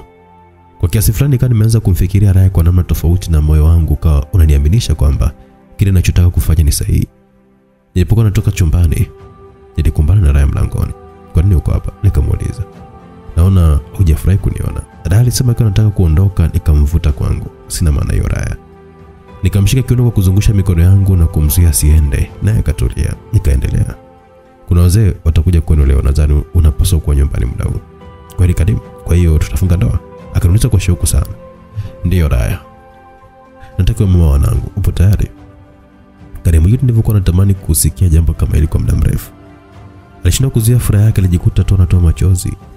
Raya, siwezi kusema kwamba nimekutana na mwanamke sahihi nilikuwa napaswa kufunga naye ndoa, lakini nitakuchagua wewe kati yako na mke wangu. Wewe sio mwanamke tu, bali ni mwanamke wa ndoto zangu. Mume wangu mtarajiwa, mimi naenda kujiandaa, wazazi wangu watafurahi sana. Akanibusu mdomoni kisha akaondoka. Baada ya kujiweka sawa, nikawa nimerejea tena sebuleni. Nikamkuta shemeji mezani, nami nikawa nimevuta kiti na kukaa. Shemeji alikuwa ananitazama sana, kama kuna kitu kipo ndani ya moyo wake kuhusu mimi ambacho kilikuwa kinamshinda kusema. Karim, bado nafasi ya kubadilisha mawazo. Shemeji, usiniambie tena kuhusu huyo mwanamke, sitaki hata kumsikia. Sina mpango wa kubadilisha mawazo. Unahisi kwa kufanya hivi utaweza kumsahau? Karim, fikiria kwa kina, Abi kweli anaweza kuacha naye? Sitaki kumfikiria tena, nimeshafanya maamuzi yangu. Najua uvumilivu ni mchungu, lakini matunda yake ni matamu. Tafadhali Karim, usikurupuke. Hauna haja ya kumsikitikia Abi, anafanya maisha yake. Najua ujalizia mimi kumwoa Raya, lakini nakuomba fanya kwa ajili ya watoto wangu. Karim, ndoa sio watoto, ndoa ni zaidi ya hivyo. Sijali tena, unajua nilikuwa nimekwenda kule kwa heshima yako, lakini kile alichonifanyia Abi sitakuja kumsamea badani. Sawa, na imani utajutia uamuzi wako. Hata hivyo, upendo wa kweli huzaliwa ndani ya nyakati ngumu. Naweza kuona wewe bado unampenda sana mke wako. Mke gani unamwongelea? Abi sio mke wangu tena, nina furaha na Raya. Nilipanic fulani wakati kile ambacho unachokifikiria kusema na kufanya ni sawa. Wewe unamfikiria Abi, lakini unataka kumwoa Raya. Hiyo sio sawa. Inatosha sasa. Hata unajua siku stahili haya. Abi ameniumiza sana. Ni, niache Raya niponye vidonda vyangu mimi. Sijui namna ya kufanya unielewe, lakini ya maamuzi unayofanya kwa hasira tu. Ulitaka nizungumze naye, nimefanya hivyo, akanikataa. Unataka nifanye nini tena? Nikwambia kuna kitu hakipo sawa, na wewe ni askari, nikiamini kwamba utachukulia kama kesi inayohitaji uchunguzi. Lakini umefanya nini? Kesi iko wapi? Uchunguzi wa nini sasa? Kama kuna kitu kilikuwa kimemsibu, basi ni tamaa tu ya umaarufu na si kitu kingine. Haya maamuzi haraka unayoyafanya ni ujinga. Ni sana kutembea na mwavuli kuna ngoja mvua. Sijui ufungue kufanikisha hili, lakini kama unataka ushindwe, basi shikilia unachokiamini sasa hivi. Tunatakiwa kuviamini tulivyo navyo, ikiwa hatuna nafasi ya kupata tunavyovipenda. Nilisema nikiwa nanyanyuka mezani na kuelekea zangu chumbani. Nilikuwa na hasira na kama tungeendelea kuongea pale tungemaliza vibaya. Nikaingia chumbani kwangu na kuanza kutoa nguo na vitu vya Abi kabatini. Nilitaka nichome kila kitu kinachomhusu. Nikaona haipo sababu tena ya kuweza kubaki na kumbukumbu za mtu asiyenihitaji. Nikadhamiria kupiga teke sahani la ugali baada ya yeye kumwaga mboga. Wakati kazema mzi yangu, nikawa nimeona dali ambayo ilikuwa alikuwa akiitumia kuandika kumbukumbu za mapito yake.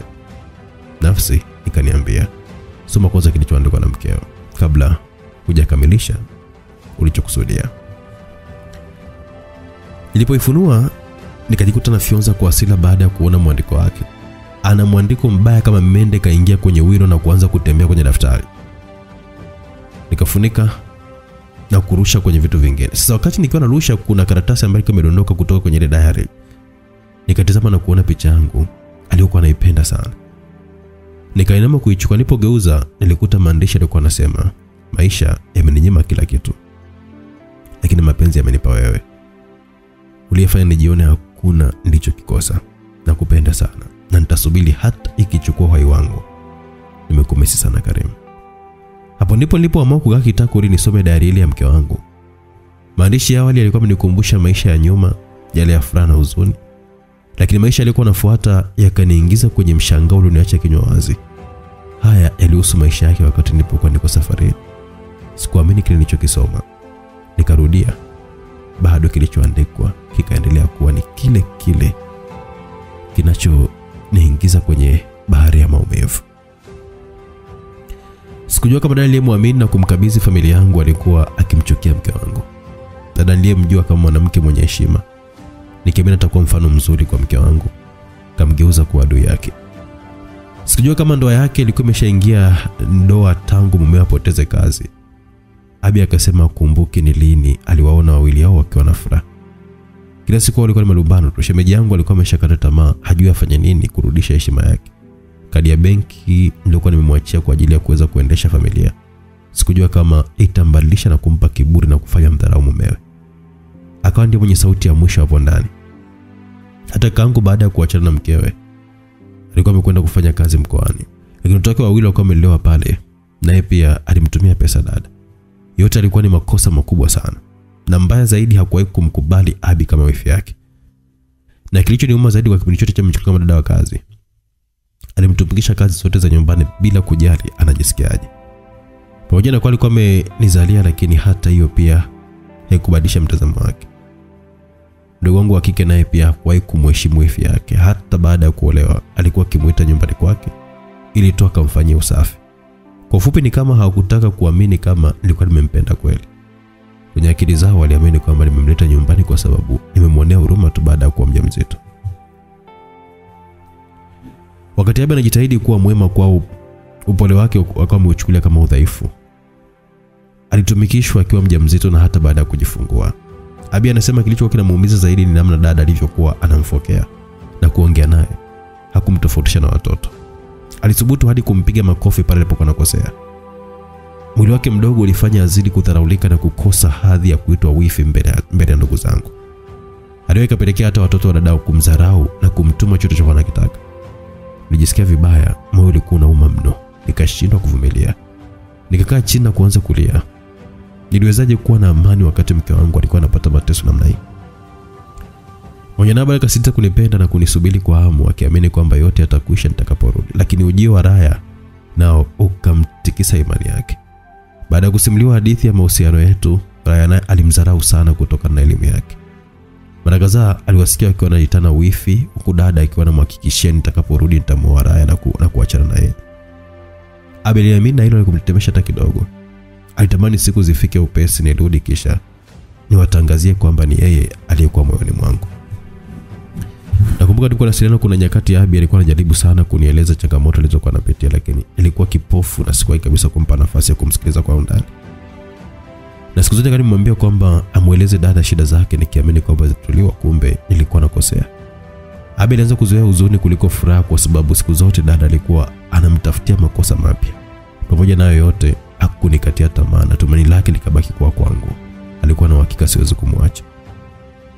Mtu pekee alikuwa naye alikuwa ni shemeji yangu. Huenda ndo sababu shemeji alikuwa anataka nichunguze jambo hili. Alikuwa ni mtu pekee alikuwa anaelewana na kumtia moyo. Watoto wa kakaangu walibaki pale nyumbani, nao ilikuwa ni jukumu la Abi kuwalea. Alikuwa akiwapeleka shuleni na kuwafuata. Katika njia aliyokuwa akipita, kulikuwa kuna nyumba ambayo ilikuwa inatumiwa na wasanii kushoot tamthilia, tamthilia ambayo ilikuwa ikifuatiliwa sana nchini. Abi alipenda kupita hapo akipoteza muda kidogo kuangalia. Huo ndo ukawa mwanzo wa Ricardo kuingia kwenye maisha yake.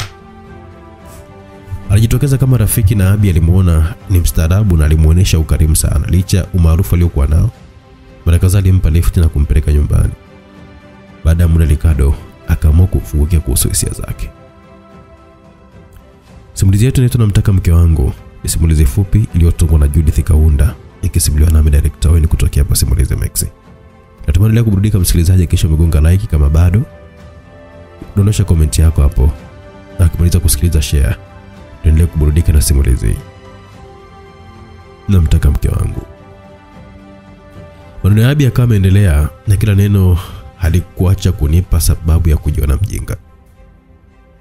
Anasema kwamba pamoja na Ricardo kuwa na mwonekano mzuri kunizidi, lakini bado hakuweza kumpa nafasi kwa sababu alikuwa ananiona ni mtu muhimu sana kwake.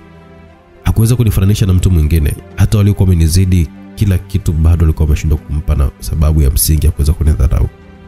Ila Ricardo walikubaliana kuwa marafiki wa kawaida, na siku moja ikatokea bahati Abi akaonyesha kipaji chake. Director wa tamthilia ile akavutiwa naye sana, ndipo akamtuma Ricardo ampeleke Abi ofisini kwake. Abi asingeweza kukataa. Ilikuwa ni jambo kubwa sana kwake. Alifurahi sana kuenda kuonana na role model wake Moana. Akaamua kumshirikisha dada yangu furaha yake, lakini aliambulia kuchekwa na kukejeliwa. Furaha yake aliyoamua kuwashirikisha wengine ikawa imemtokea puani, akajikuta anaongeza sababu mpya ya kuchukiwa.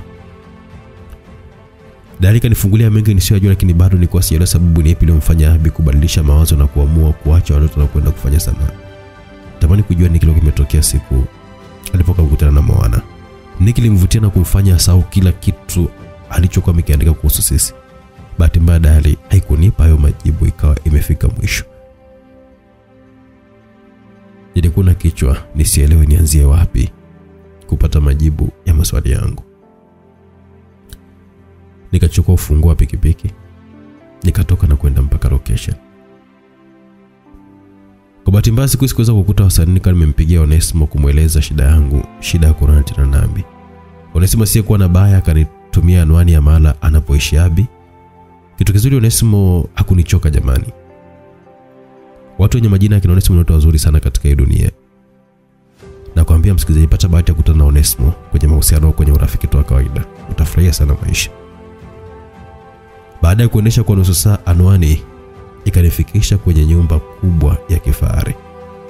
Nikupe siri msikilizaji, hiyo Onesmo hiyo kwenye director ON, ile O inamaanisha Onesmo. Ni siri ambayo nimekuibia ulisikiliza mpaka hapa msikilizaji. Aliishia nje anawezi kujua kitu kama hicho. Nisione jina langu kwenye comment msikilizaji, tutagombana.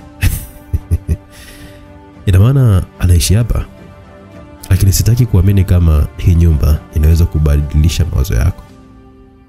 Nilisema wakati nilikuwa natazama upande wa mbele wa nyumba, niliwaza vitu vingi sana nikiwa nipo getini. Kwa wasiwasi mkubwa nikabonyeza kengele na haikuchukua muda nikawa nimesikia sauti ya mwanamke ikiwa inasogea. Alafu akachungulia kwenye uwazi na, kunu, na kuuliza, "Wewe ni nani?" "Naitwa Karim." "Una shida gani?" "Samani hapa ndipo anapoishi Ricardo." "Hapana, hapa ni nyumbani kwa director Moana." Alisema ukitaka kufunga kile kisehemu nikamzuia. "Abi nimemkuta." "Abi?" "Oh, hapana Kim." "Kwa nini usimpigie simu?" Ajani nimepoteza namba yake, kama utoje namba nitie. Nikamwambia nani? Karim, mwambie nahitaji kuongea naye jambo la muhimu sana. Yule alikuwa amekwenda, aliporudi alikuwa ameongozana na Abi.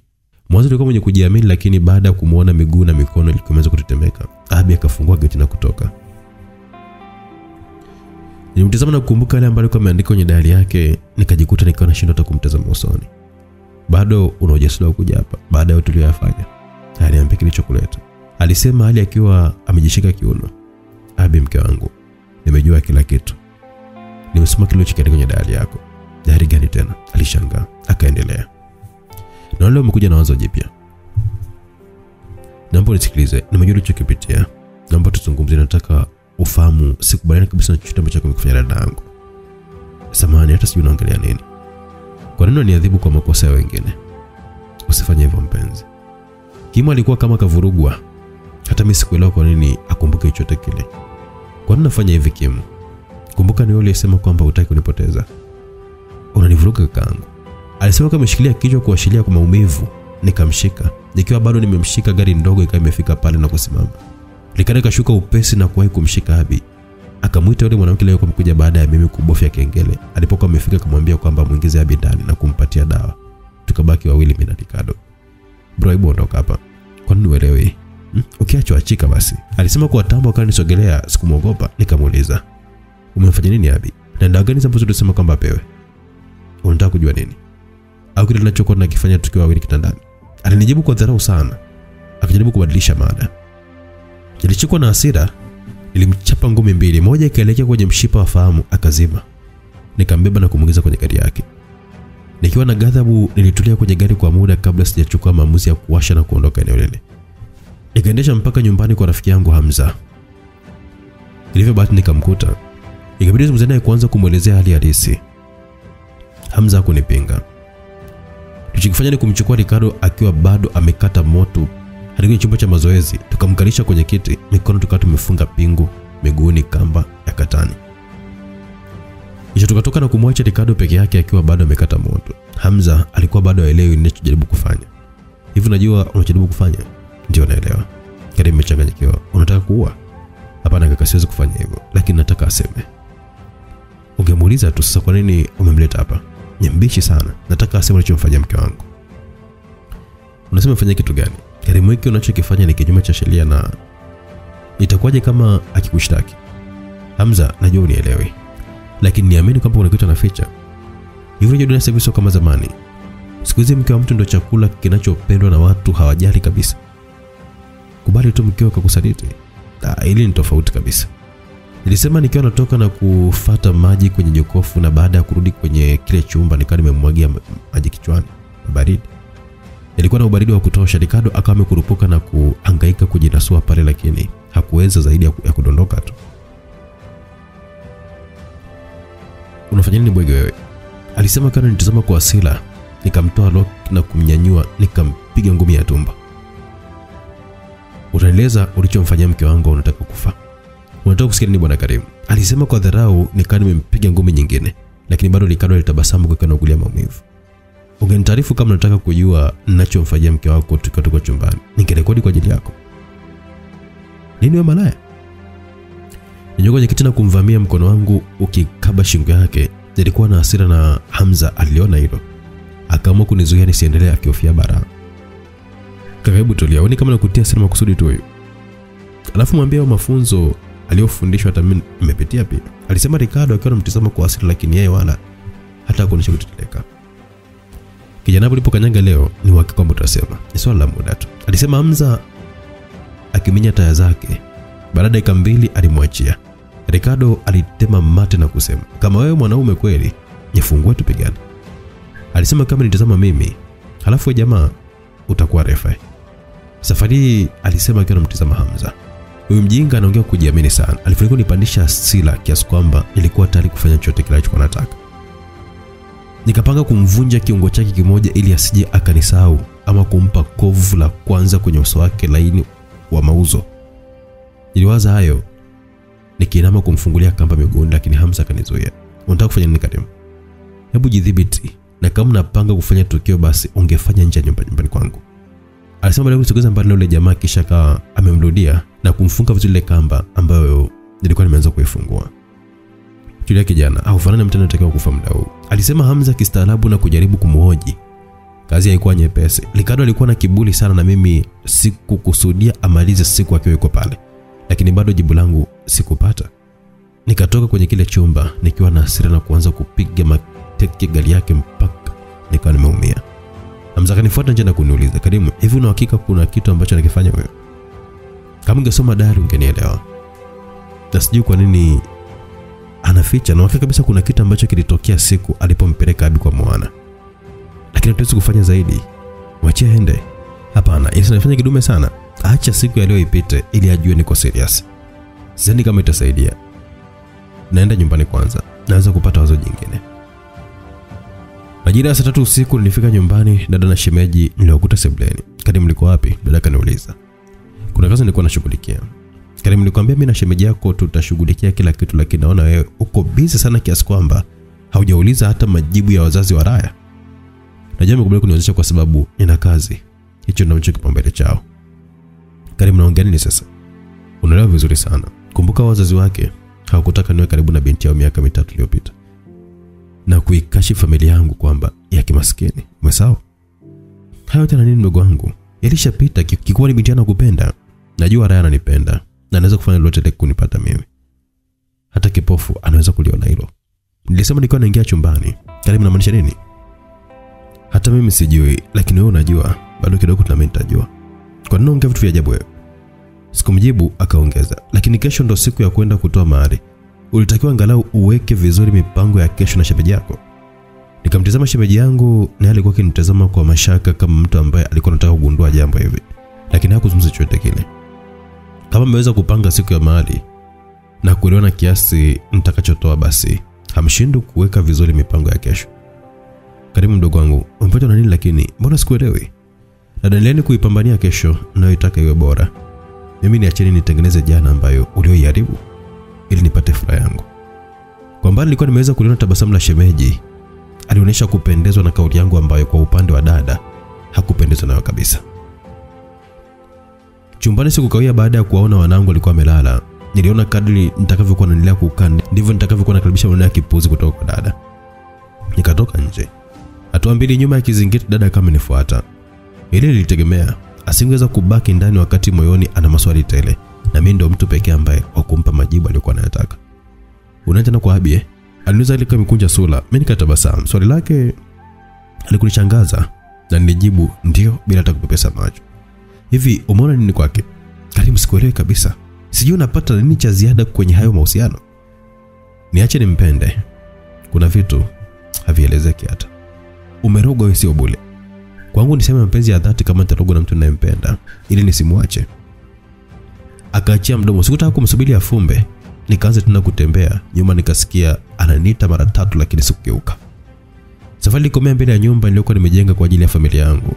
Ilikuwa imebaki kidogo tu ili ikamilike. Kichwani nikiwa na lengo moja tu. Nikikamilisha kisha nimwoneshe Abi kama kuna sababu ya kuweza kuniacha basi iwe ni ya kuto kumridhisha, sio ya kuishi naye pahala sipopapenda. Hii siku nilala humo kuwaonesha mafundi kwamba neno upesi sijalitoa kwa bahati mbaya, nilikuwa namaanisha kweli. Jioni siku pia nikaenda kuongea na Abi nikiwa na kiasi fulani hivi cha matumaini. Nilifika kwenye ile nyumba nikasimama getini, hata kabla sijagonga gate nikawa nimefunguliwa na gari ndogo nyeusi kaa inatoka.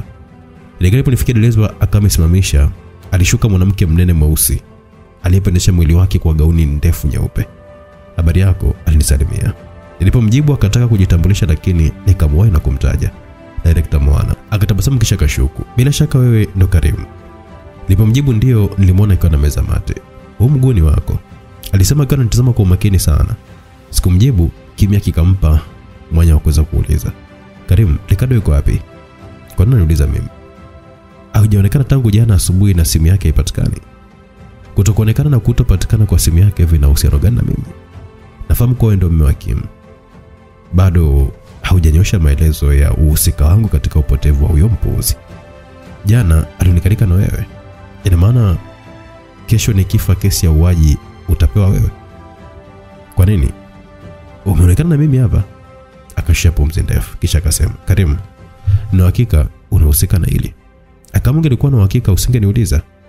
Akanyamaza. Sikia Director Mwana, mimi ni askari na utakuwa unajua hilo. Kama nataka kunipa kazi ya kumtafuta, funguka. Unataka nini kuifanya hiyo kazi? Nataka maelekezo yasiyoniacha na swali kumhusu mke wangu. Tunaweza kwenda sehemu nzuri tukazungumza tofauti na hapa, sawa? Nusa mbele tukawa tuko ndani ya baa moja hivi yenye hadhi ya kati, tukaagiza vinywaji tukaanza kunywa. Baada ya mafunda kadhaa na kupata ulivyo kama maongezi. Karimu, nimewahi kusikia kuhusu wewe lakini sikujua kama ni msumbufu namna hii. Ndio kwanza na kusikia wewe kama mtu kumfuatilia mkewe ni usumbufu. Labda nikuulize Karim, Eh, uliza. Kitu gani kimekusibu mpaka umkumbuke Kim? Mwanamke uliyempa ujauzito kwa bahati mbaya na ukamwacha ishi nyumbani kwenu kwa huruma yako tu. Akumbuka mlijeja hapa, ulisi mimi ni mume wa Kim, si ndio? Ndio. Vizuri. Kwa hiyo wewe ukipewa mimba na mumeo utahesabu bahati mbaya? Kimya. Kim ndo amekwambia hivyo? Niliuliza tena. Hapana, kuna watu wako wa karibu ndo ameniambia. Nani huyo? Sijui hata nianzie wapi kuelezea hili. Kabla ya maelezo, mtaje kwanza. Dada yako. Nikapata kichomi cha moyo, lakini hakuna aliyeona maumivu yangu zaidi ya mimi mwenyewe. Naomba uniambie kuhusu mke wangu sasa. Uliwezaje kumshawishi hadi amenisahau mumewe? Kim ana misimamo thabiti kabisa. Hakuna anaweza kumshawishi yule. Unataka kuniambia nini? Kwamba vile alivyo ndo nilivyomwacha? Punguza hasira basi. Kama ningelikuwa na hasira, huu muda madaktari wangelikuwa wanahangaika kuokoa uhai wako wewe hapo. Mbona unazungumza kama vile mimi ni mtu mbaya? Kama uliweza kumtenganisha mama na wanawe wadogo, bado hujajua kama ni mtu aina gani? Karim, hapa tumekuja kujenga. Huko unapotaka kwenda hakuna faida yote ile. Kuhusu faida, huenda hicho sio kitu ambacho nilichokuwa nimeandikiwa, na ndio maana umetumia kila mbinu kwa mke wangu ili tu nipate hasara. Unanikosea karibu. Kusema ukweli sio kosa. Ukweli unazungumza hivi, unajua mkeo alipata ajali?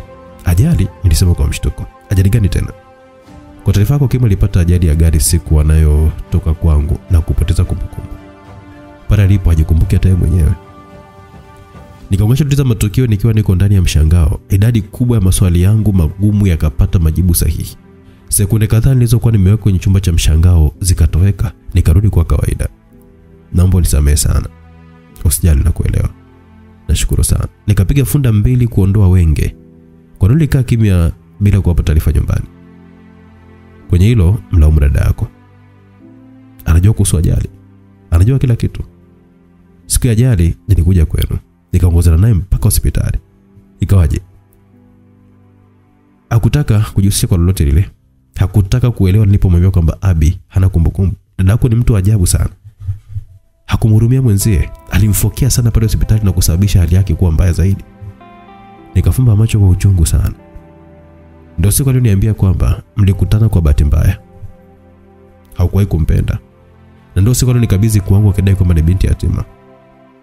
Kama itoshi, alisisitiza hamtaki kwenye familia yake na kama nitaweza nimpeleke kusikojulikana ili asiweze kurudi tena. Niliumia sana. Sikutegemea dada yangu alikuwa anaweza kufika mbali kiasi hicho. Nikanimisha kichwa kwa sekunde tano ama sita, nikakiinua baada ya kupata swali. Kwa nini ulimwacha awe na mahusiano mengine wakati unajua ameolewa? Au ni kati na moyo wake? Mimi sihusiki.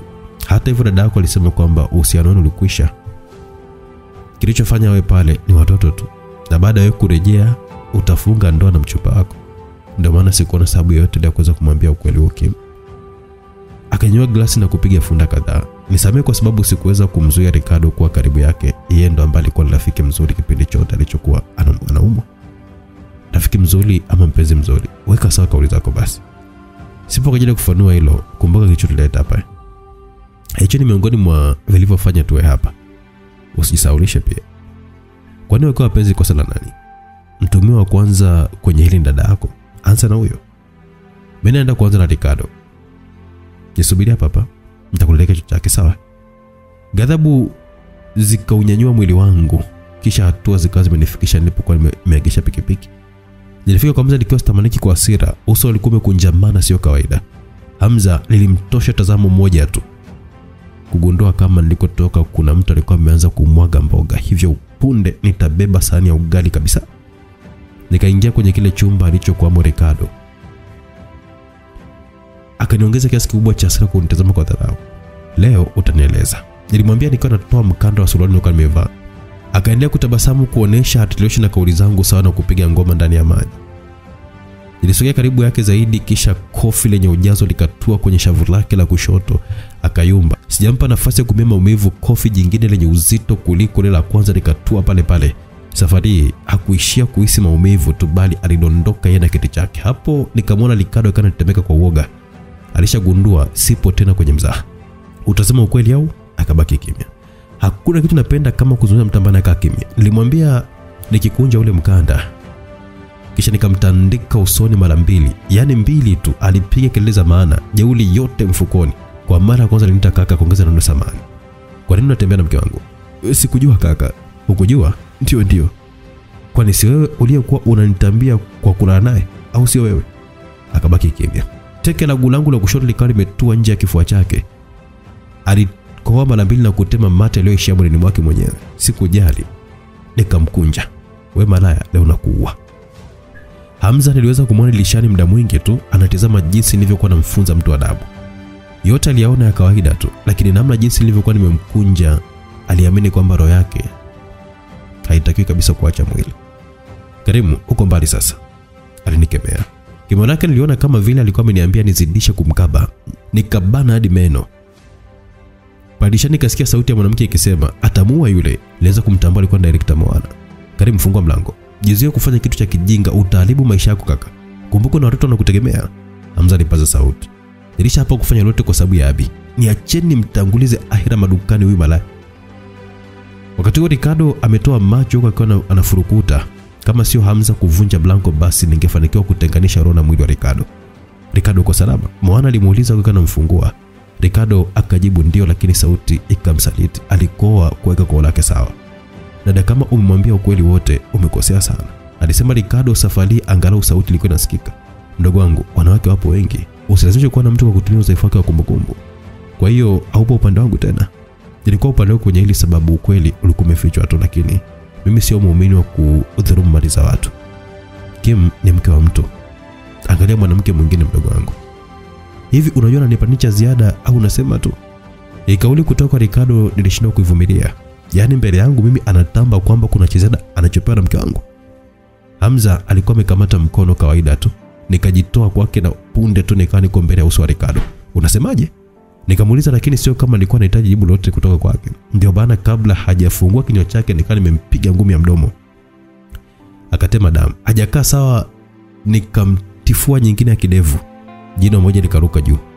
Safari nilikuwa nimedhamiria kumwacha na alama, ili anapokuja kuwasiwa naye kuhusu kiburi aoneshe na ushahidi wa kilichomtokea puani. Ndiyo msikilizaji, simulizi yetu namtaka mke wangu iliyoandikwa na mtunzi Judith Kaunda inasimuliwa nami director ON kutokea hapa Simulizi Max. Nimesema marufuku wala jina langu kwenye comment hapo.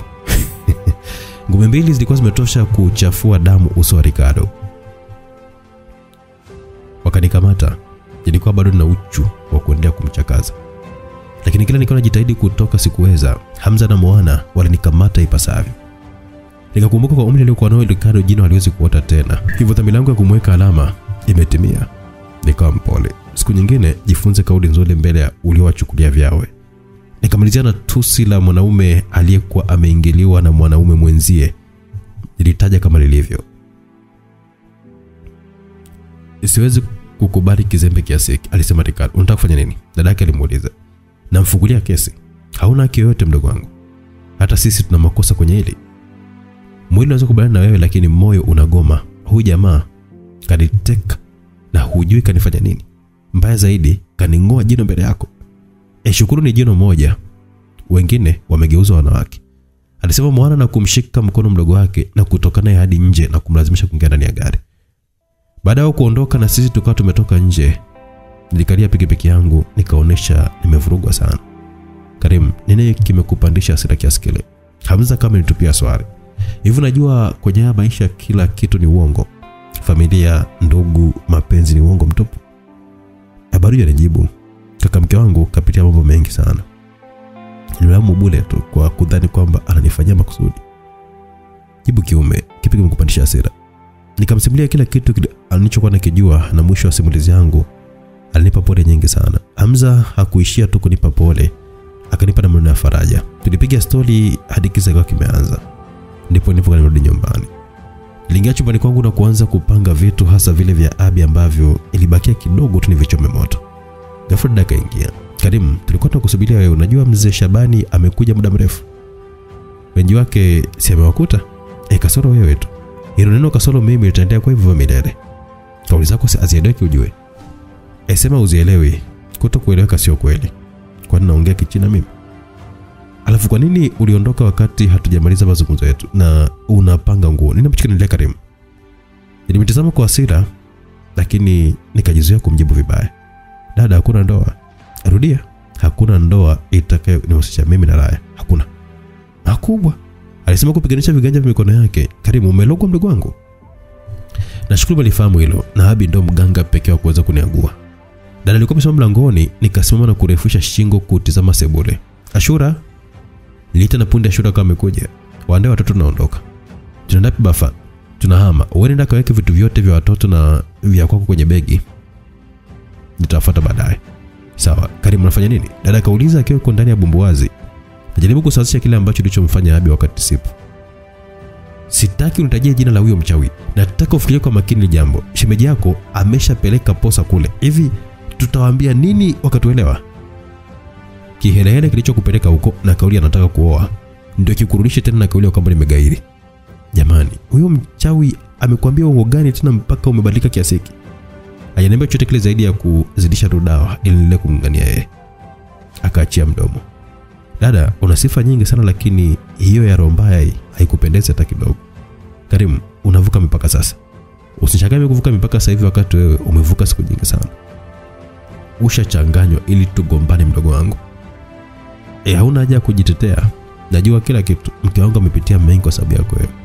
Sio siri, umenifanya hadi nijutie kumwacha hapa nyumbani.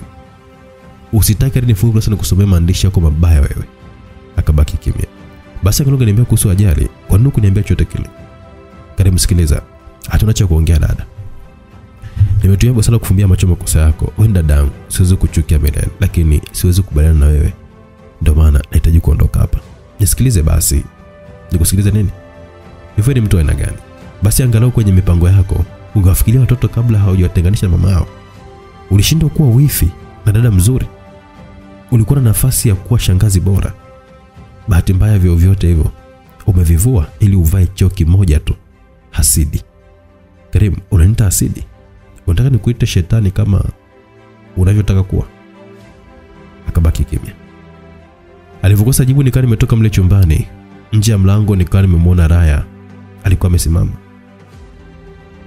Machozi na sura ya huzuni vikawa vinaonyesha kwamba amekuwa hapo muda mrefu sana, hivyo nikawa amesikia na kuelewa kila kitu. Nilimshika bega kisha nikamwambia hili lijatokea kwa bahati mbaya. Kama naamini mke au mume bora anatoka kwa Mungu, basi amini majina yetu hayajaandikwa pamoja kwenye kitabu cha ndoa. Chana kurasa zote ambazo ulizokuwa umeanza kuandika kuhusu kesho yetu, kisha jiandikie maandishi mengine ya mwanaume uliyepangiwa naye, ili hadithi yako iwe na kisa kinachofurahisha tu. Maumivu utakayopata sasa hivi cha mtoto tu ukilinganisha na maumivu yajayo, ikiwa kama tutamruhusu shetani afanikiwe kutuweka pamoja kama mke na mume. Raya ni mwanamke mzuri sana, hitaji la kila mwanaume asiyetaka kuota ndoto mbaya pindi anapokulala na mkewe.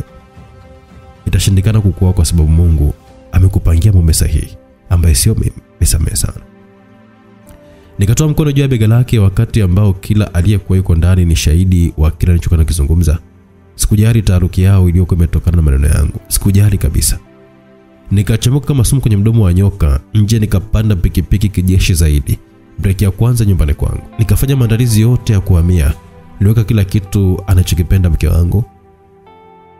Likabaki jambo moja tu, kumfuata. Hili hata malaika wanajua ugumu wake aisee, hivyo hawataniandikia dhambi kama nitashindwa kulifanikisha. Nilimaliza siku nzima nikiwa na tafakari. Siku ya pili kama nimewasiliana na Onesimo ili nijue Abby anapatikana wapi. Akanielekeza walipo studio. Nikafika studio na kwa bahati njema Abi ilimkuta nje. Alikuwa amependeza mno, gauni fupi la uzurungi na viatu virefu vyeusi vilikuwa vimemkaa haswa.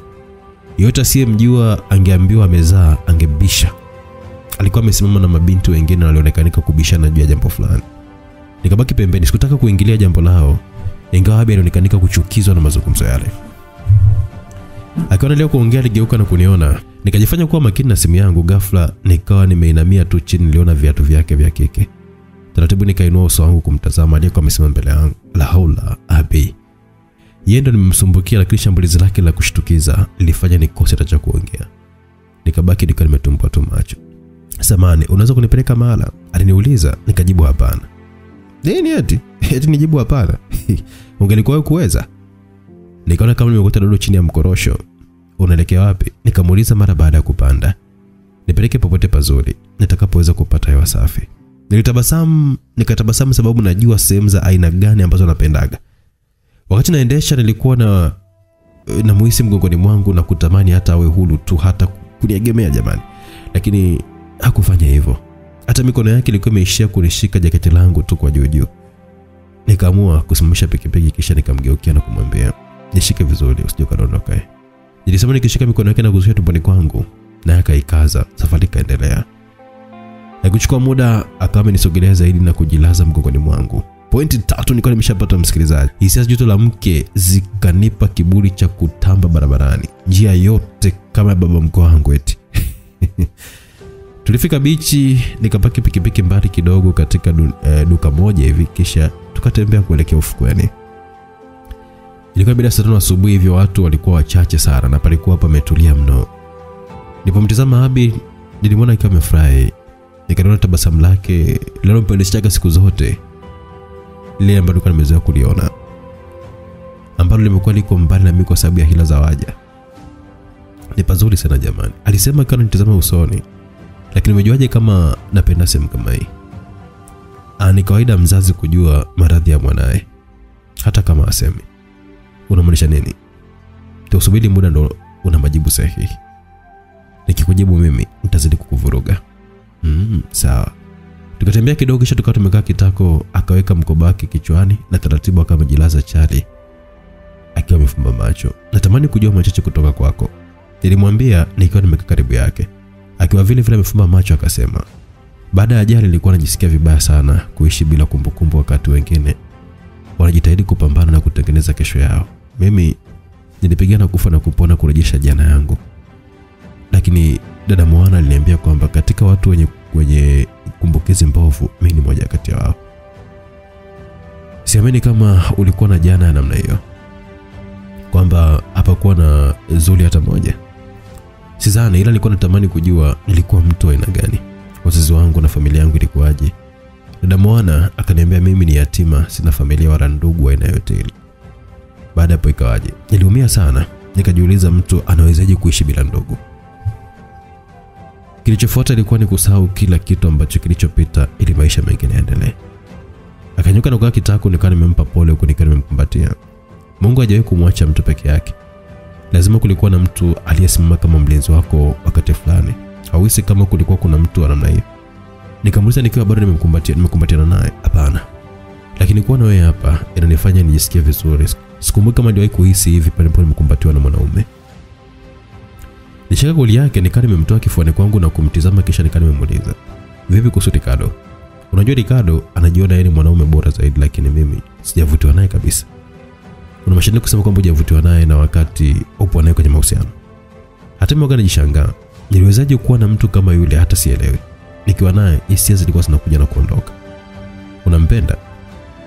Aye yeye ni mtu mzuri lakini haumpende, si ndio? Sina jibu la moja kwa moja. Unalo ila haujaamua kunijibu. Sina kweli. Labda nikuulize kuhusu maisha yako ya mahusiano. Mahusiano yangu hayana tofauti na jana yako usiyoipenda. Kwa nini? Sijai kumkabidhi mtu yoyote kama nilivyokuwa nimefanya kwa mke wangu. Yeye ndo mwanamke pekee ambaye niliahidi kumpenda hata kwenye maisha ya baada ya kufa. Yuko wapi sasa hivi? Yuko mbele ya macho yangu kwenye dunia yenye watu wasiopenda kuona furaha za wengine. Anasikia ninavyolia na kuna muda ni shahidi mzuri sana machozi yangu. Najitahidi sana kumsahau, lakini maumivu yananikumbusha mwisho wetu nisiouamini mpaka sasa hivi. Yule aliyeapa kubakisha haitabasamu langu ndio aliyefulia huzuni iliyokuwa nimesahau. Bora ngeniacha peke yangu kwa kisingizio kingine, lakini ameacha na watoto wasiokuwa na makosa. Kila nikikumbuka hili najiona baba mjinga mbele ya wanangu. Kilio cha kwikwi kilikuwa kimemeza sauti yangu, nikajikuta nadondosha tu machozi juu ya mapaja ya Abi. Nikamlaza kichwa kwenye mapaja yake, mikono ya Abi ikawa inazunguka juu ya, ya shavu langu la kushoto. Ndiyo, alikuwa ananiliwaza huku akiwa ananipa pole. Hata yeye mwenyewe alionyesha kuumizwa na maumivu yangu. Zani kama anajua kwamba ni mtu mwenye bahati sana, na imani kwamba atakuwa anakukumbuka, labda kuna sababu ambayo iliyomfanya asirudi tena kwako. Unaonaje kama hiyo bahati ingelikuwa iko upande wako? Nilimuuliza nikiwa nainua kichwa na kumtizama, macho yangu yalionyesha hisia kali sana dhidi yake. Karim Masudi, unajaribu kunitongoza. Kwa namna Abi alivyokuwa ametamka jina langu, nikakumbuka siku za nyuma wakati tulipokuwa tumekutana. Nilijisikia vizuri, nikazidi kumtizama kwa karibu huku nikitabasamu. Umewezaje kukumbuka jina langu? Siwezi kusahau jina la msumbufu kama wewe. Au umesahau ni mara ngapi umenifananisha na mkeo? Kwa hiyo unaona ni magani vompweke? Naona, pole sana. Asante, lakini unaweza kupunguza maumivu yangu? He, kivipi? Kwa kunikumbatia japo dakika mbili. Una uhakika? Ndio. Sawa. Ina nafasi niliyoitamani sana. Sikujipa hata sekunde kuchelewesha. Nilimkumbatia kwa nguvu sana huku nikiwa navuta pumzi na kuishusha. Naye alinikumbatia japo kwa mashaka. Akanipigapiga mgongoni nikajiachia kabisa mwenyewe. Utazani kwamba nilikuwa nimepewa dhamana ya kufanya hivyo milele. Akanikumbusha kwamba nimetoka nje ya muda. Kumbatio likaishia hapo. Nilipomtizama alikuepesha macho yake na kuangalia chini kwa aibu. Habi hakuwa kwenye utulivu kabisa. Nikapata ujasiri wa kuweza kumshika kidevu na kumfanya nitazame. Umewahi kulala na Ricardo? Unamaanisha nini? Ushajua anachomaanisha. Muda umekwenda sana, naomba urudishe nyumbani, alisema akiwa ananyanyuka. Najua naikwepa hii mada, nami nikanyanyuka na kumzuia na kwa kumshika mkono. Akanitazama tazamo la kunishangaa kwa kile ambacho nilikuwa nahitaji kujua kutoka kwake. Akaniuliza, kwa nini nikwambie? Nataka kujua tu, kwa sababu matendo yako ni kama bikra. Nilisema kiutani nikiwa najichekesha. Unataka nikwambie alafu ukampiga tena kama ulivyompiga? Siwezi kumpiga tena.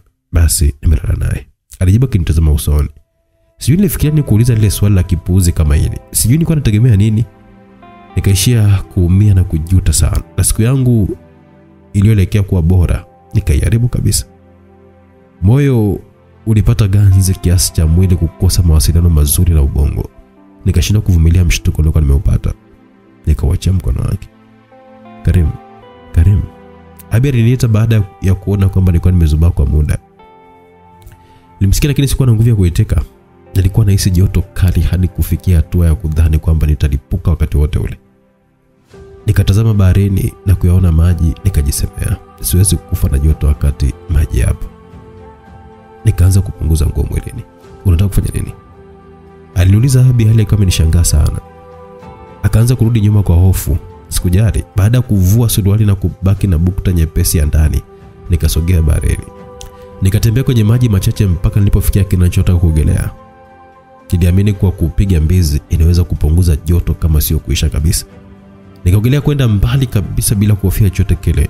Nikapiga kelele nikijua hawezi kunisikia. Kelele za kujiondoa hasira tu. Sio kama nilikuwa nimezidiwa na maji, hapana. Punde baada ya zile kelele nilishtuka baada ya kutizama kule nilipomwacha Abi hakuwepo. Nikaangaza macho pande zote, pia sikufanikiwa kumtia machoni. Kaenda wapi huyu? Nikajiuliza. Nikapesa macho huku na kule, na kwa bahati nikawa nimemwona. Baada ya kumwona niliogopa sana. Abi alikuwa kwenye maji akiwa anatapatapa na kunyanyua mikono yake kama anaomba msaada. Nikasogea kwa kasi nikimfuata, nilipomfikia nikambeba mpaka kwenye kina kifupi alichokuwa amesimama. Kwa nini umeingia kwenye maji wakati haujui kuogelea? Nilalamika nikiwa napumua kwa pupa mno. Umeniogopesha ulivyokomenda mbali. Vipi kama ungezama? Vipi kama ungeumia? Ingekuwaje kama kingekutokea kitu kibaya? Aliuliza maswali mfululizo huku akiwa analia kwa uchungu pamoja na kuloana, lakini niliona machozi yake. Nilimvuta na kumkumbatia kwa nguvu, nikamwambia nisamee, sikujua kama nikikutisha kiasi hiki. Msikilizaji, ile tukio limenikumbusha kitu cha kweli kilichonitokea mimi kwenye maisha yangu. Nakumbuka ilikuwa ni anniversary ya, ya kwanza, yani mwaka mmoja wa ndoa yangu na mke wangu. Tulikuwa tumeenda sehemu moja hivi huko Bagamoyo. Kuna bichi moja inaitwa Msalabani kule, kama ushawahi kufika kule kule Msalabani. Basi nilikuwa niko mimi na mke wangu, afu tukawa na kapo nyingine, yani kama family friend hivi. Ilikuwa noni mtu na mke wake, tukawa tumeenda pale. Basi wenyewe tukawa tumewacha hapa nje, sisi tukawa tumeingia kuogelea ndani ya bahari.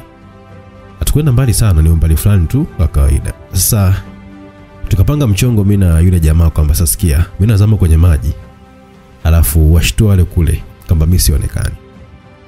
Basi bwana, nikaa mzama kwenye maji pale, alafu jamaa akapiga kelele, jamani, yani kitu kama hicho. Aisee, nilivyokuja kushtuka nilikuta mke wangu katoka mbio kule kutoka kule ufukweni. Alikimbia kuja baharini kuogelea, hata ajui msikilizaji. Alikimbia kuja baharini kwa kasi ya ajabu. Alivyokuwa anaingia pale kwenye nani, alivyokuwa anakimbia mbio akutana na wimbi ambao likampiga pale, likamchapa miguu, likamwangusha kwenye maji. Aliumia vibaya sana siku ile, lakini yote alikuwa anakuja kupambana, nilikuja kuniondoa kwenye maji baada ya kujua kwamba nilikuwa nimezama kwenye maji. Sasa nikaja kumuuliza, unajua kuogelea? Akasema sijui, lakini nimeshtuka sana nilivyokuwa sikuoni kwenye maji, kwani kana kuja kukusaidia. I say mambo yapo msikilizaji, maisha ya kweli kabisa, lakini unapendwa kama mimi na kama nilivyokuwa nimekuambia wewe, ukibahatika kukutana na mtu anaitwa Onesmo kwenye maisha yako, kana kwenye mahusiano, basi una bahati kubwa sana. Afu mbaya zetu kwa chache sana, ni tunahesabika. Kwa Tanzania unaweza kuhesabu kuta kama watu sita tu hivi wanaitwa kina Onesmo, lakini watu watu fulani ambao sijui sijui. Nimeogopa sana, tafadhali usifanye hivyo tena, usijali. Wote tulikuwa tepe tepe, ilikuwa kifua wazi, alikuwa na nguo zake zikiwa zimeloana na kumkamata ngozi yake. Ilitokea hivi kwa mke wangu msikilizaji, alikuja na nguo zake vile vile moja kwa moja kwenye maji. Umbe lake likaonekana vyema, hakuna nijali atakayeshindwa kummezea mate. Ah, mimi nimpeleka kwenye gari kwenda kubadilisha nguo. Alikuwa na nguo zingine kwenye gari, nikaenda kumbadilisha nguo huko. Mke wangu mzuri nyie na nimuone mtu kumfikiria fikiri, nitakata masikio na wasikilizaji. Na vile tulivyokuwa tumekumbatiana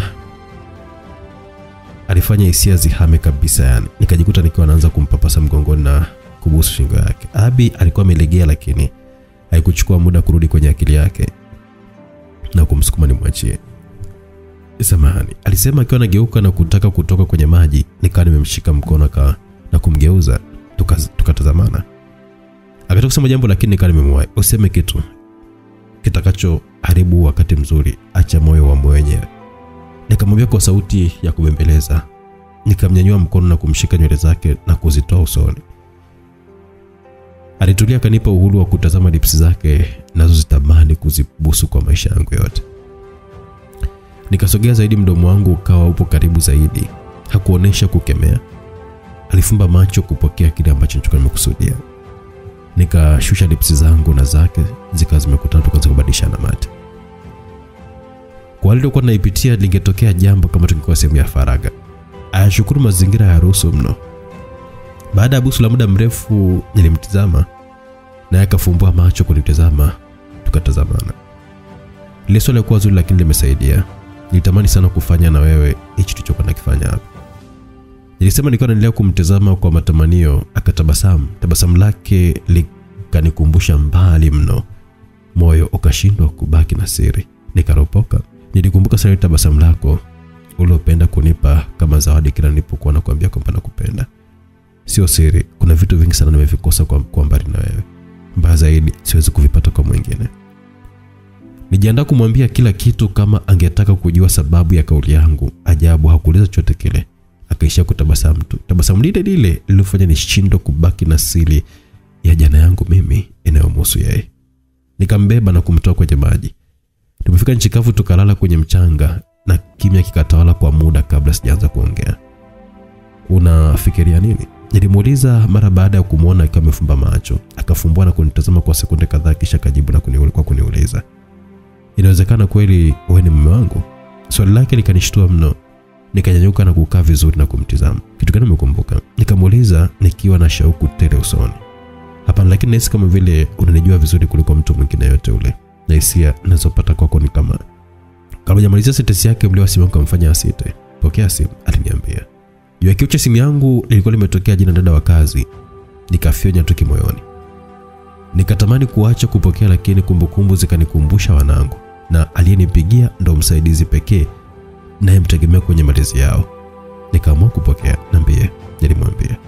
Bafa, nimekutafuta muda mrefu, upokei, alisema kwa sauti ya mashaka iliyofanikiwa kuniogopesha. Kuna tatizo nyumbani? Nikauliza kwa kubabaika tu na kufanya Abi anitazame kwa makini. Hakuna tatizo kubwa, Nasiri alikuwa na homa tu. Nakuja sasa hivi, jiandae tuna hospitali. Endelea tuna kazi, ameshapata huduma. Nilimpigia dada yako, tuko hospitali. Hospitali gani? Akanitajia. Nakuja hapo sasa hivi. Nikakata simu. Nana naumwa? Abi akauliza. Mtoto. Mungu wangu. Alishika kichwa kuonesha ukubwa wa mshtuko wake. Samani, inabidi niende. Tunaenda wote. Ikawa hivyo, msikilizaji.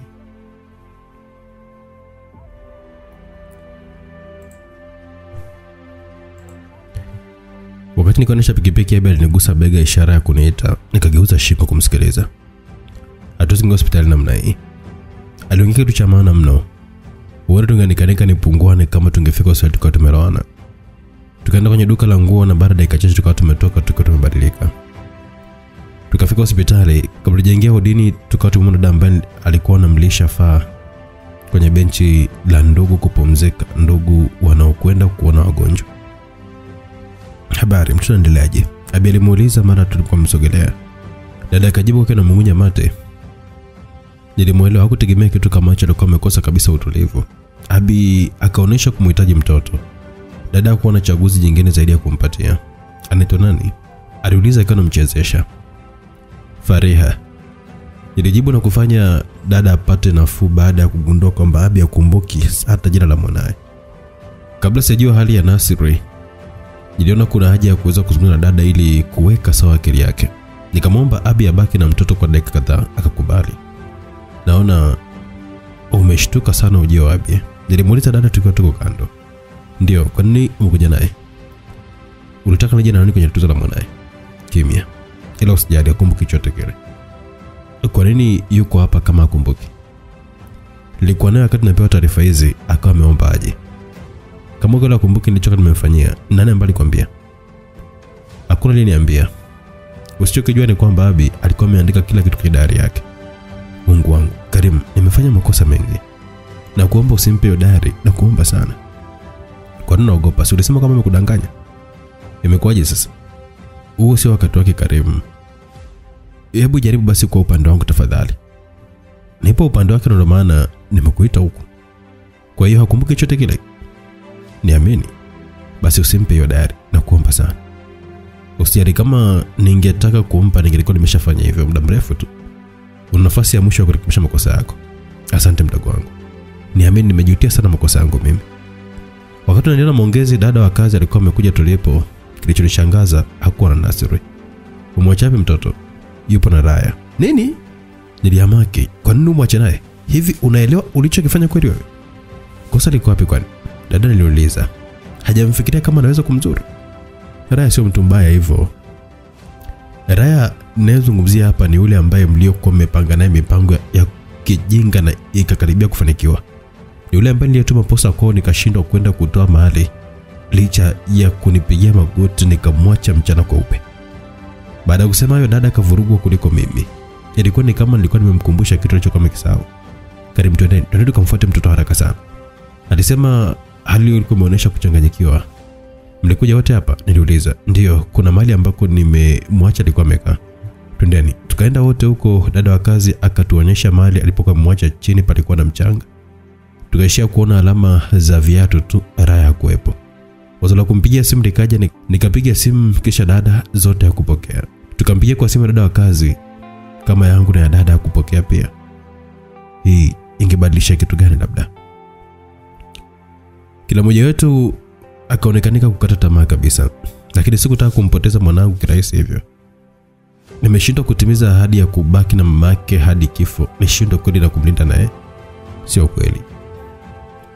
Tulianza kumtafuta upya, kila mtu alikuwa anapita njia yake. Nikampigia tena Raya, pokea pokea Raya wewe.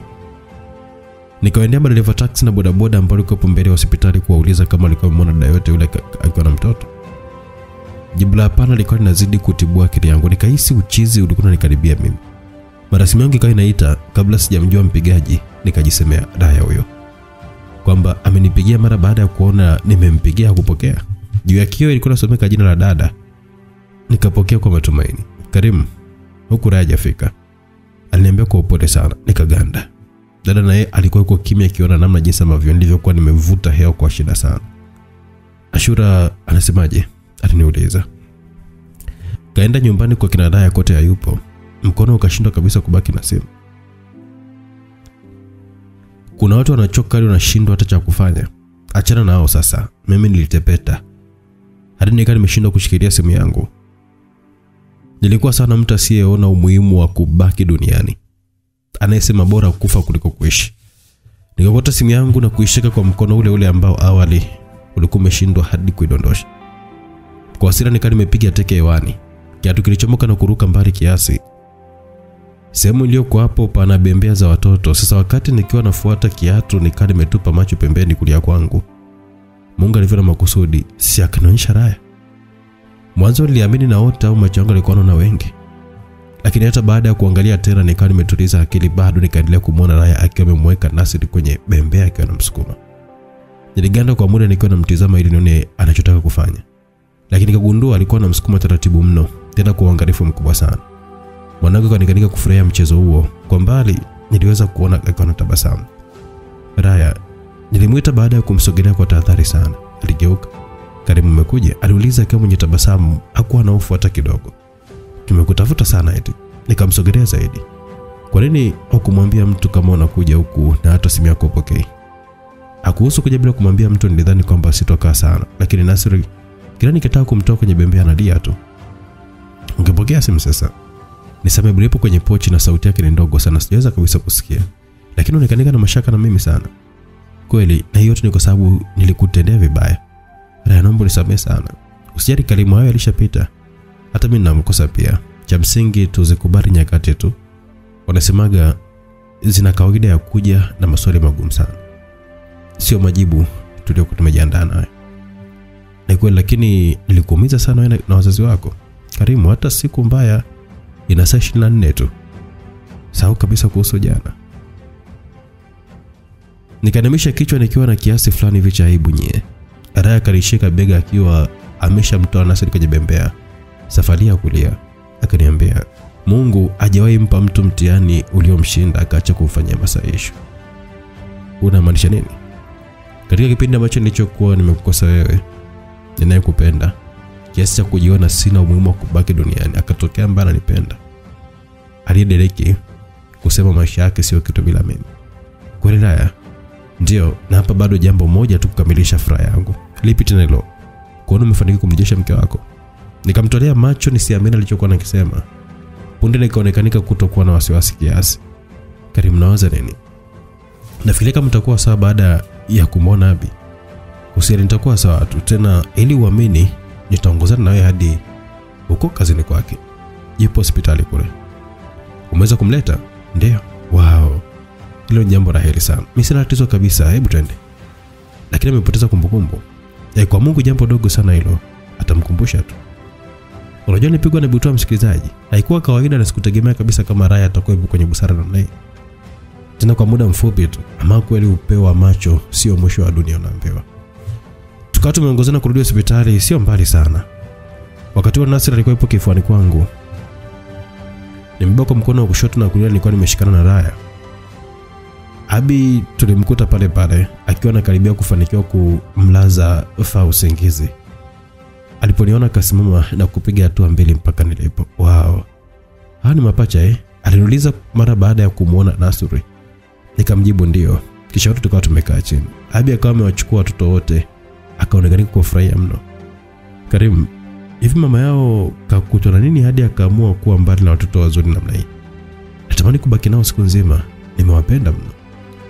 Hakuhusu mama yao sina jibu sahihi, lakini swala la kukaa nao usiku nzima unaweza kufanya hivyo tu. Ah, bahati mbaya leo natakiwa nikalale mapema ili kesho alfajiri niwahi location. Sawa. Nilitikia kinyonge sana. Muda huo huo akawa amerudisha watoto kwangu na kusimama. Kwa herini na imani mama yao atarudi eh. Sidhani kama yeye ni mjinga kiasi cha kuacha wanae wazuri hivi. Niamini mimi. Akiwakumbuka atakuja haraka sana, hata msijali. Aligeuka na kumtizama Raya. Au mama yao ndo huyu? Ya, sio mimi. Ni rafiki yake tu. Basi atarudi. Amesharudi. Hapa imebakia kuwakumbuka tu. Abi akataka kusema neno lakini akawa amesita. Akaishia kumeza mate tu. Wakati akiwa anaanza kupiga hatua za kuondoka, Raya akawa amemfuata. Wakatoka nje na kuniacha nikiwa nime- nimekumbatia watoto. Baada ya muda dada naye akawa ameingia akiwa ameongozana na Ashura, dada wa kazi. Tulitoka hospitali. Nje tulikuwa tumeweza kumwona Raya akiwa yuko peke yake. Kichwani nilikuwa na hamu ya kujua sababu ya kumfuata ya kumfuata Abi. Jidisiku la maana ambayo amemwambia hayo ndio ambayo nifanya mimi nimuite pembeni. Abi yuko wapi? Ameondoka mbona? Kuna kitu nimwambia? Ndio. Kipi? Mjaribu kwa upande wa kumbukumbu zake. Nimwambia kule alikuwa ameusahau. Upi huo? Kwamba yeye ndio mama wale watoto wazuri wanatamani kumaliza siku akiwa nao. Yeye ndio mwanamke aliyekuwa ameshikilia furaha ya mwanaume aliyesikitika mbele yake. Yule anayeishi kwenye dua za wengi ili arudi. ndo yeye. Nimekumbusha jina kamili la mumewe na baadhi ya ninavyokuwa navijua kuhusu wao. Nimekumbusha uli mdogo wa ndoa yake inayotegemea yeye ili iandikwe kwenye kumbukumbu kumbu za vilivyoishi kwa miaka mingi. Nimemtaka asimame kama shujaa kwa kuokoa furaha za wengi zilizokuwa rehani sababu ya kukosekana yeye mikononi mwa mumewe. Kama itoshi, nimemtajia jina lake kwamba yeye ni Abigail. Jina la Kim lisimfanye ateme bikiji kukaranga za kuonjeshwa. Ukupaswa kufanya hivyo. Sikupaswa kufanya nini? Kumwambia yote hayo hadi lini? Nikabaki kimya.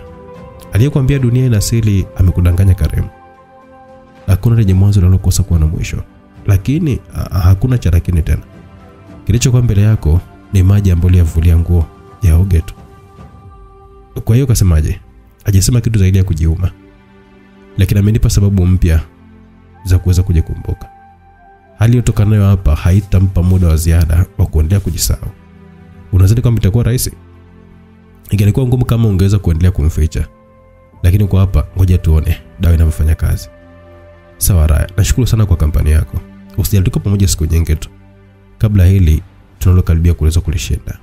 Kwa hiyo hakuwa na imani, juhudi zetu zitampa Mungu sababu ya kuweza kutatua hili kwa haraka sana. Nisipokushukuru wewe nitamshukuru nani? Mshukuru Mungu. Raya alikuwa ni tofauti mno. Mara zote alizopata bahati ya kuzungumza naye yeye kuzungumza kwa busara namna hii. Siku yangu iliyokuwa imekaribia kuisha vibaya, maneno yake yaliikarabati vizuri mno, iling'aa kwa kweli. Wakati tumesimama pale, gari ndogo ikawa imesimama mbali na tulipo. Raya alipoiona na ikaona kitabasamu. Karim amenifuata. Nani? Yule aliyechaguliwa na Mungu kumiliki sehemu ya moyo wangu. Kauli aliitoa akiwa ameshaanza kupiga hatua. Nikamsindikiza kwa macho raha kama amefika kwenye ile gari ambayo ilikuwa iko pembezoni mwa barabara. Sijui kwa nini nilikuwa nimepata shauku ya kutaka kumwona huyo mmiliki wa moyo wake. Akateremka Onesmo akazunguka kumfungulia mlango Raya. Kabla ya kumfungulia, wakawa wamekumbatiana, kisha busu zito na mdomoni likawa limewatambulisha kwamba ni akina nani. Wote watatu, Onesmo, Raya na mimi, tulikuwa tumesoma shule moja, na siku zote Onesmo alikuwa anampenda sana Raya. Aliwahi kuchukia ukaribu niliokuwa nao na Raya lakini hakuwa na namna. Nadhani baada ya kumpa stori yangu kuhusu Abi siku ile, akaamua kumtafuta Raya na kutumia nafasi ya kumfariji baada ya mimi kumwacha. Nimependa namna jinsi ambavyo nilivyokuwa nimeona ni wazi sasa Raya alikuwa ameamua kuwa naye, tofauti na hapo asingeniacha kwa amani. Turudi nyumbani, hatimaye siku hii ndefu ilifikiwa na giza. Tulibahatika kupata afya ya kulala, tukapanda kitandani. Kabla sijapata usingizi, nilikuwa nachezea simu huku nikiwa nakumbuka ambayo alikuwa amenitokea leo. Ghafla ujumbe kaingia, mme wangu. Huenda aina ya ujumbe hata wewe haukushitua, lakini vipi kama umetoka kwa mwanamke ambaye anaishikilia furaha yako, mwanamke unayempenda kiasi cha mwili kukosa mawasiliano kama hata kuonesha dalili za kuishi bila yeye. Ujumbe ulikuwa umetoka kwa Abi, Abigail, na baada ya kusoma nikajiona kama nilikuwa nimezaliwa upya kwenye dunia ya mapenzi. Acheni nyie. Simulizi yetu msikilizaji, inaitwa Namtaka Mke Wangu, iliyotungwa na bibie Judith Kaunda, inasimuliwa nami director Owen kutokea Pasipotezi Maxi. Na tumeona enjoy na utaendelea kuenjoy tena na tena. Tunaendelea na simulizi yetu tamu.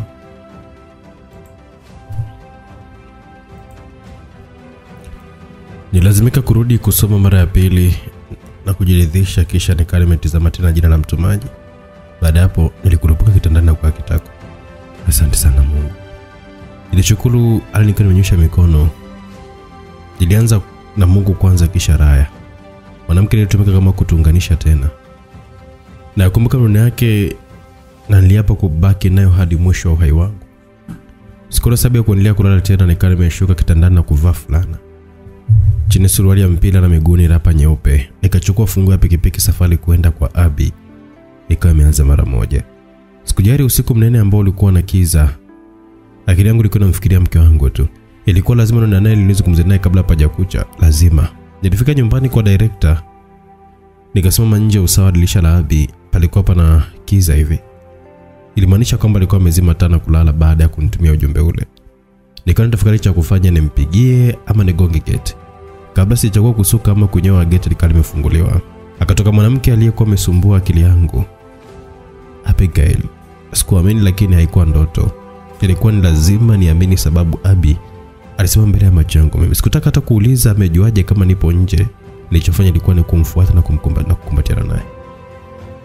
Nilijua lazima utakuja, alisema Abi huku akiwa ananipapasa mgongoni. Lakini haukujua muda gani? Ndiyo, ila nilimwambia mlinzi akisikia pikipiki imesimama karibu na, na geti na nipigie. Oh, asante sana kwa kunijali. Ni jukumu langu. Rafiki yako pale hospitali akunificha kitu. Maneno yake nimeyatumia kuweza kujilisha mashaka yangu ya muda mrefu sana. Ulikuwa na mashaka na mimi? ndio tangu wakati sina kumbukumbu nilipokuwa na kuona kwa mara ya kwanza, kuna kitu ambacho niliamini hakipo sawa. Na usiku dada Mwana amenisimulia kila alichokuwa nakijua kuhusu sisi. Wewe ni mume wangu Karim. Najiona mwenye bahati sana kuwa kwenye mikono ya mwanaume kama wewe. Najuta kwa yote ambayo nilikuwa nimekufanyia. Nisamehe sana. Hauna haja kuniomba msamaha Abi. Yule haukuwa wewe. Ni mimi yule. Abi, hauziamini nyakati? Naziamini sana tu. Basi zina kawaida ya kuja na maswali magumu. Sio majibu tuliyoyaandaa. Hadi maneno ambayo aliniambia Raya, mtu ambaye kauli zake zimekusaidia kwa kiasi kikubwa sana. Wakati tulikuwa tumekwisha toka kwenye, kwenye kumbato, tulikuwa tumeshikana tu mikono hadi tulikuwa tunatazamana. Nikambusu busu la panda uso, akalipokea kwa tabasamu pana kama ilivyo kawaida yake. Kisha nikaa nimemtaka twende nyumbani, hakunipinga. Aliniomba aende ndani na baada ya kama dakika tano akawa amerudi. Tukashika hamsini zetu. Nyumbani palikuwa pamepungua mtu mmoja tu ili paweze kutimia, Abigail. Uji wake ukawa umekamilisha kila kitu. Hata hivyo shindikana kwa wengine kuwa tuliamini kwamba vitawezekana. Nyumba ilivutia mno. Nilipomwambia kwamba ni yetu, akanitizama kwa sekunde kadhaa kabla ya kunilukia. Niliweza kumdaka na kufanya ajae tele kifuani pangu, kisha akawa ametulia. Kilichofanya niweze kumdaka sio ujazo wa mwili wangu uliokuwa umejengeka kimazoezi, ni ule mvutano wa upendo. Nikisema visivyowezekana kwa wengine kwetu vinafanyika kwa wepesi sana, nilikuwa namaanisha kweli. Asante sana mume wangu. Mshukuru Mungu kwanza. Akatabasamu, nikatabasamu pia. Matabasamu yakataka kutuingiza kwenye hisia kali za mapenzi, lakini sauti ya kulia kwa mtoto ika- ikatuonea wivu. Tukakumbuka kuwa furaha imefanya tukasahau kama tulikuwa tumezaa, na mmoja kati ya wanetu alikuwa naumwa kiasi. Alfajiri kwenye mida ya saa kumi na moja kasoro niliamka nikiwa nimechoka mno. Sio kama kuna licho nilichoka nimekifanya usiku, la ni vile tu usingizi wa ushindi unakuwa ni mzito sana. Nilijikuta niko peke yangu kitandani, nikaa nimetazama macho kulia kweupe, kushoto kadhalika. Kichwani nilikuwa naamini kulala na Abi haikuwa ndoto. Sasa kaenda wapi tena mapema yote hii? Nikatulia kama dakika tano hivi, huenda akaja. Dakika zilifika kumi bila hata kuona uwepo wake. Nikaenda chooni lakini hakuwepo. Kisha nikaa nimeenda sebuleni. Huko niliweza kumwona Abi akiwa ametulia. Mwonekano wake ulikuwa unanipa maswali mfululizo. Alikuwa anatoka na machozi, sura ilikuwa imevimba kama alikuwa na mimba changa. Japo miguu ilikuwa imekwisha pungua nguvu, lakini ilikuwa nimeweza kupiga hatua kumsogelea zaidi. Mke wangu, upo salama? Nilimuuliza nikiwa na mashaka chungu nzima. Hakunijibu zaidi ya kuendelea kunitizama tu, huku machozi akiwa anaongeza kasi. Nilipokuwa nimemfikia, nikaona ile dari mikononi mwake. Dada aliniambia kwamba nimfichie siri juu ya yote ambayo alikuwa amemfanyia Abi, ambayo anapatikana kwenye diary. Kama nilikuwa nimeshindwa kuichoma moto, kwa nini sasa niifiche? Nimeunguza mwenyewe kamba niliyokuwa nimeisokota kwa tabu sana. Nilijiona mjinga mno. Haya ndo ambayo nilikuwa nimefanyiwa na familia yako, si ndio? Wakati nipo katika butoa na lawama, swali la maumivu likawa limenifikia. Nikamtizama Abi kwa huruma sana, kisha nikawa nimemjibu, unakosea. Nakosea kuuliza ukweli? Aliyekufanyia hayo ni dada tu, familia yangu ni pamoja na wewe. Nikakaa kando yake. Mke wangu, unataka kuniambia nini? Kumbe nilikuwa sahihi kuondoka hapa. Hakuna mtu ambaye angeweza kuvumilia haya, hakuna Karim. Najua, lakini tulishakubaliana kuziamini nyakati. Kesho yetu haitakuwa bora kama tutaishi na kumbukumbu za jana zilizotumiza Unataka kumtetea dada yako wakati ukweli wote ninao, lakini kumbuka, mapenzi yetu ni mimi na wewe, wengine wanatazamaji tu. Alafu hakuna aliyekamilika. Alichokifanya dada ni sehemu ya mapungufu yake. Akavuta mafua. Kwa hiyo ulikuwa umepanga kunificha hili maisha yako yote, si ndio? Uliona heli nisikumbuke chochote kile ili tu dadako asiwe na hatia. Inaonekana kwako undugu ni muhimu sana kuliko utu, si ndio? Maswali matatu magumu yalikuwa yamenielemea, nisingeweza kuyajibu yote kwa usahihi alilokuwa nautaka yeye. Nilichokifanya ni kumfuta tu machozi, kisha nikawa nimemkamata mikono yake. Naomba unisamehe sana Abi, nilifanya kwa ajili yako pia. Ndio huku kuninyima ukweli wa maisha yangu ambao nilikuwa nimeandika mwenyewe. Kimya! Au kutaka nijue mimi ni nani na ni kwa kiwango gani tulikuwa tunapendana. Angalau ungeweza kuruhusu hata nisome baadhi ya kurasa zenye kumbukumbu ya furaha yetu. Umeniangusha sana. Nahisi hapa sio sehemu ambayo nilikuwa anapaswa kuwepo. Akasimama. Bado niliamini kwamba hataweza kuondoka mbali na mimi katika kipindi ambacho alichokuwa amekumbuka kila kitu. Akaingia chumbani na kuniacha sebleni nikiwa nimeachama kama kinda la ndege likiwa linapokea chakula kwa mama yake. Punde akatoka na mkoba wake, nikaona mambo yalikuwa yamedhalili sasa. Nikanyanyuka na kumshika mkono. Unaenda wapi sasa? Napostahili. Habibi, pamoja na yote lakini umejua kwa kiasi gani nakupenda na itakuwa ngumu kuishi bila wewe. Nipe adhabu yoyote ile kwa haya makosa ambayo nisiyohusika nayo, sio hii hapa ya upweke ambayo uliokusudia kuniachia. Dada yako na yule mwanamke wako Raya ulinidanganya kwamba ni rafiki yako, wanaweza kufanya uweze kuishi bila mimi. Wale akajitoa nilipokuwa nimemshika, kisha hatua kadhaa zikawa zimemfikisha mlangoni. Nimekumbuka kila kitu. Hivi unajua, nilipokuwa nimekutana na wewe nilihisi nimepata familia. Nilikuwa sina haja ya kuwa na wivu kwa wale wenye kaka na dada, kwa sababu niliamini kwamba upendo wako ni zaidi ya yote, lakini leo umenifanya nihisi wivu na kuamini kwamba undugu wa damu una nguvu zaidi kuliko uhusiano wote ule. Hapana Abi, kwangu ni zaidi ya yote. Wajali watoto basi, wanakutegemea zaidi kuliko mtu mwingine yote ule. Wanashangazi anao wajali zaidi yangu mimi, na mama wa kambo anayependwa na baba kuliko mimi. Akafungua mlango na kutoka nje, nikatoka pia. Abi, tafadhali usiwe chanzo cha mwisho wetu sio upenda. Acha niwe hivyo, ili Laya awe chanzo cha mwanzo wenu mnaotuma mnautamani. Nikamshika tena. Karibu, naomba niache. siwezi kuacha uende kwa yule jamaa. Ahadi ya milele yetu sio hii kabisa. Narudia, naomba niache, siwezi kuacha. Nikawa namvuta, ghafla nyuma yangu nikawa nimesikia sauti, mwache aende. Alikuwa ni Ashura. Akasogea tulipo. Samani kwa kusikiliza mazungumzo yenu, nimegundua Abi sio mama mbaya kama ambavyo nilivyokuwa nafikiria. Amepitia vitu vingi sana na leo amejua hayo yote.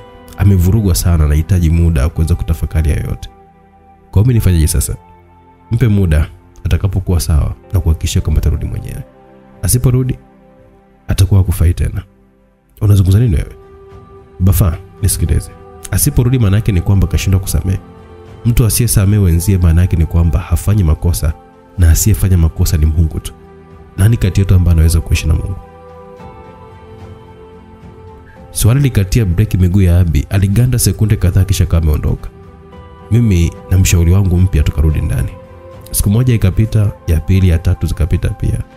Siku ya nne saa sita usiku nikawa nimepokea ujumbe, hali ya kumbukizi ya siku yake kuzaliwa mdogo wangu kipenzi.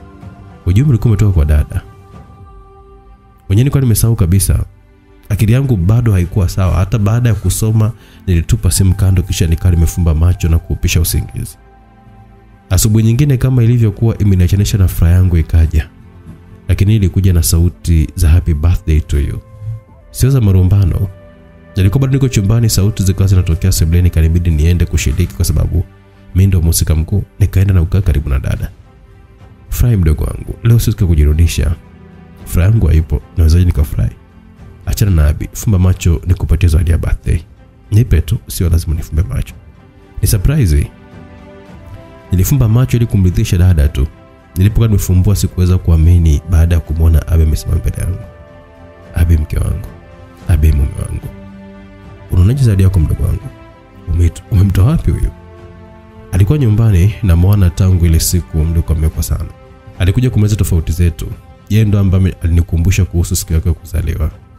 Nikamtaka tumfanye zawadi yako, naye akakubali. Asante sana dada, asante sana mke wangu. Nimemshawishi sana mkeo. Dada alivutia kwake, amenishawishi kidogo tu, nisingeweza kukaa muda mrefu mbali na wewe. Abinaye kama amevutia upande wake, wakatazamana kisha wakacheka, huku wakiwa wanagonga mikono yao pamoja. Wanawake bana! Kisha kiapo kipya cha milele yetu tukawa tumeapa mbele ya mashahidi. Sebule ikatamara kifuraha. Hey, mbona imeisha pabaya hivi jamani?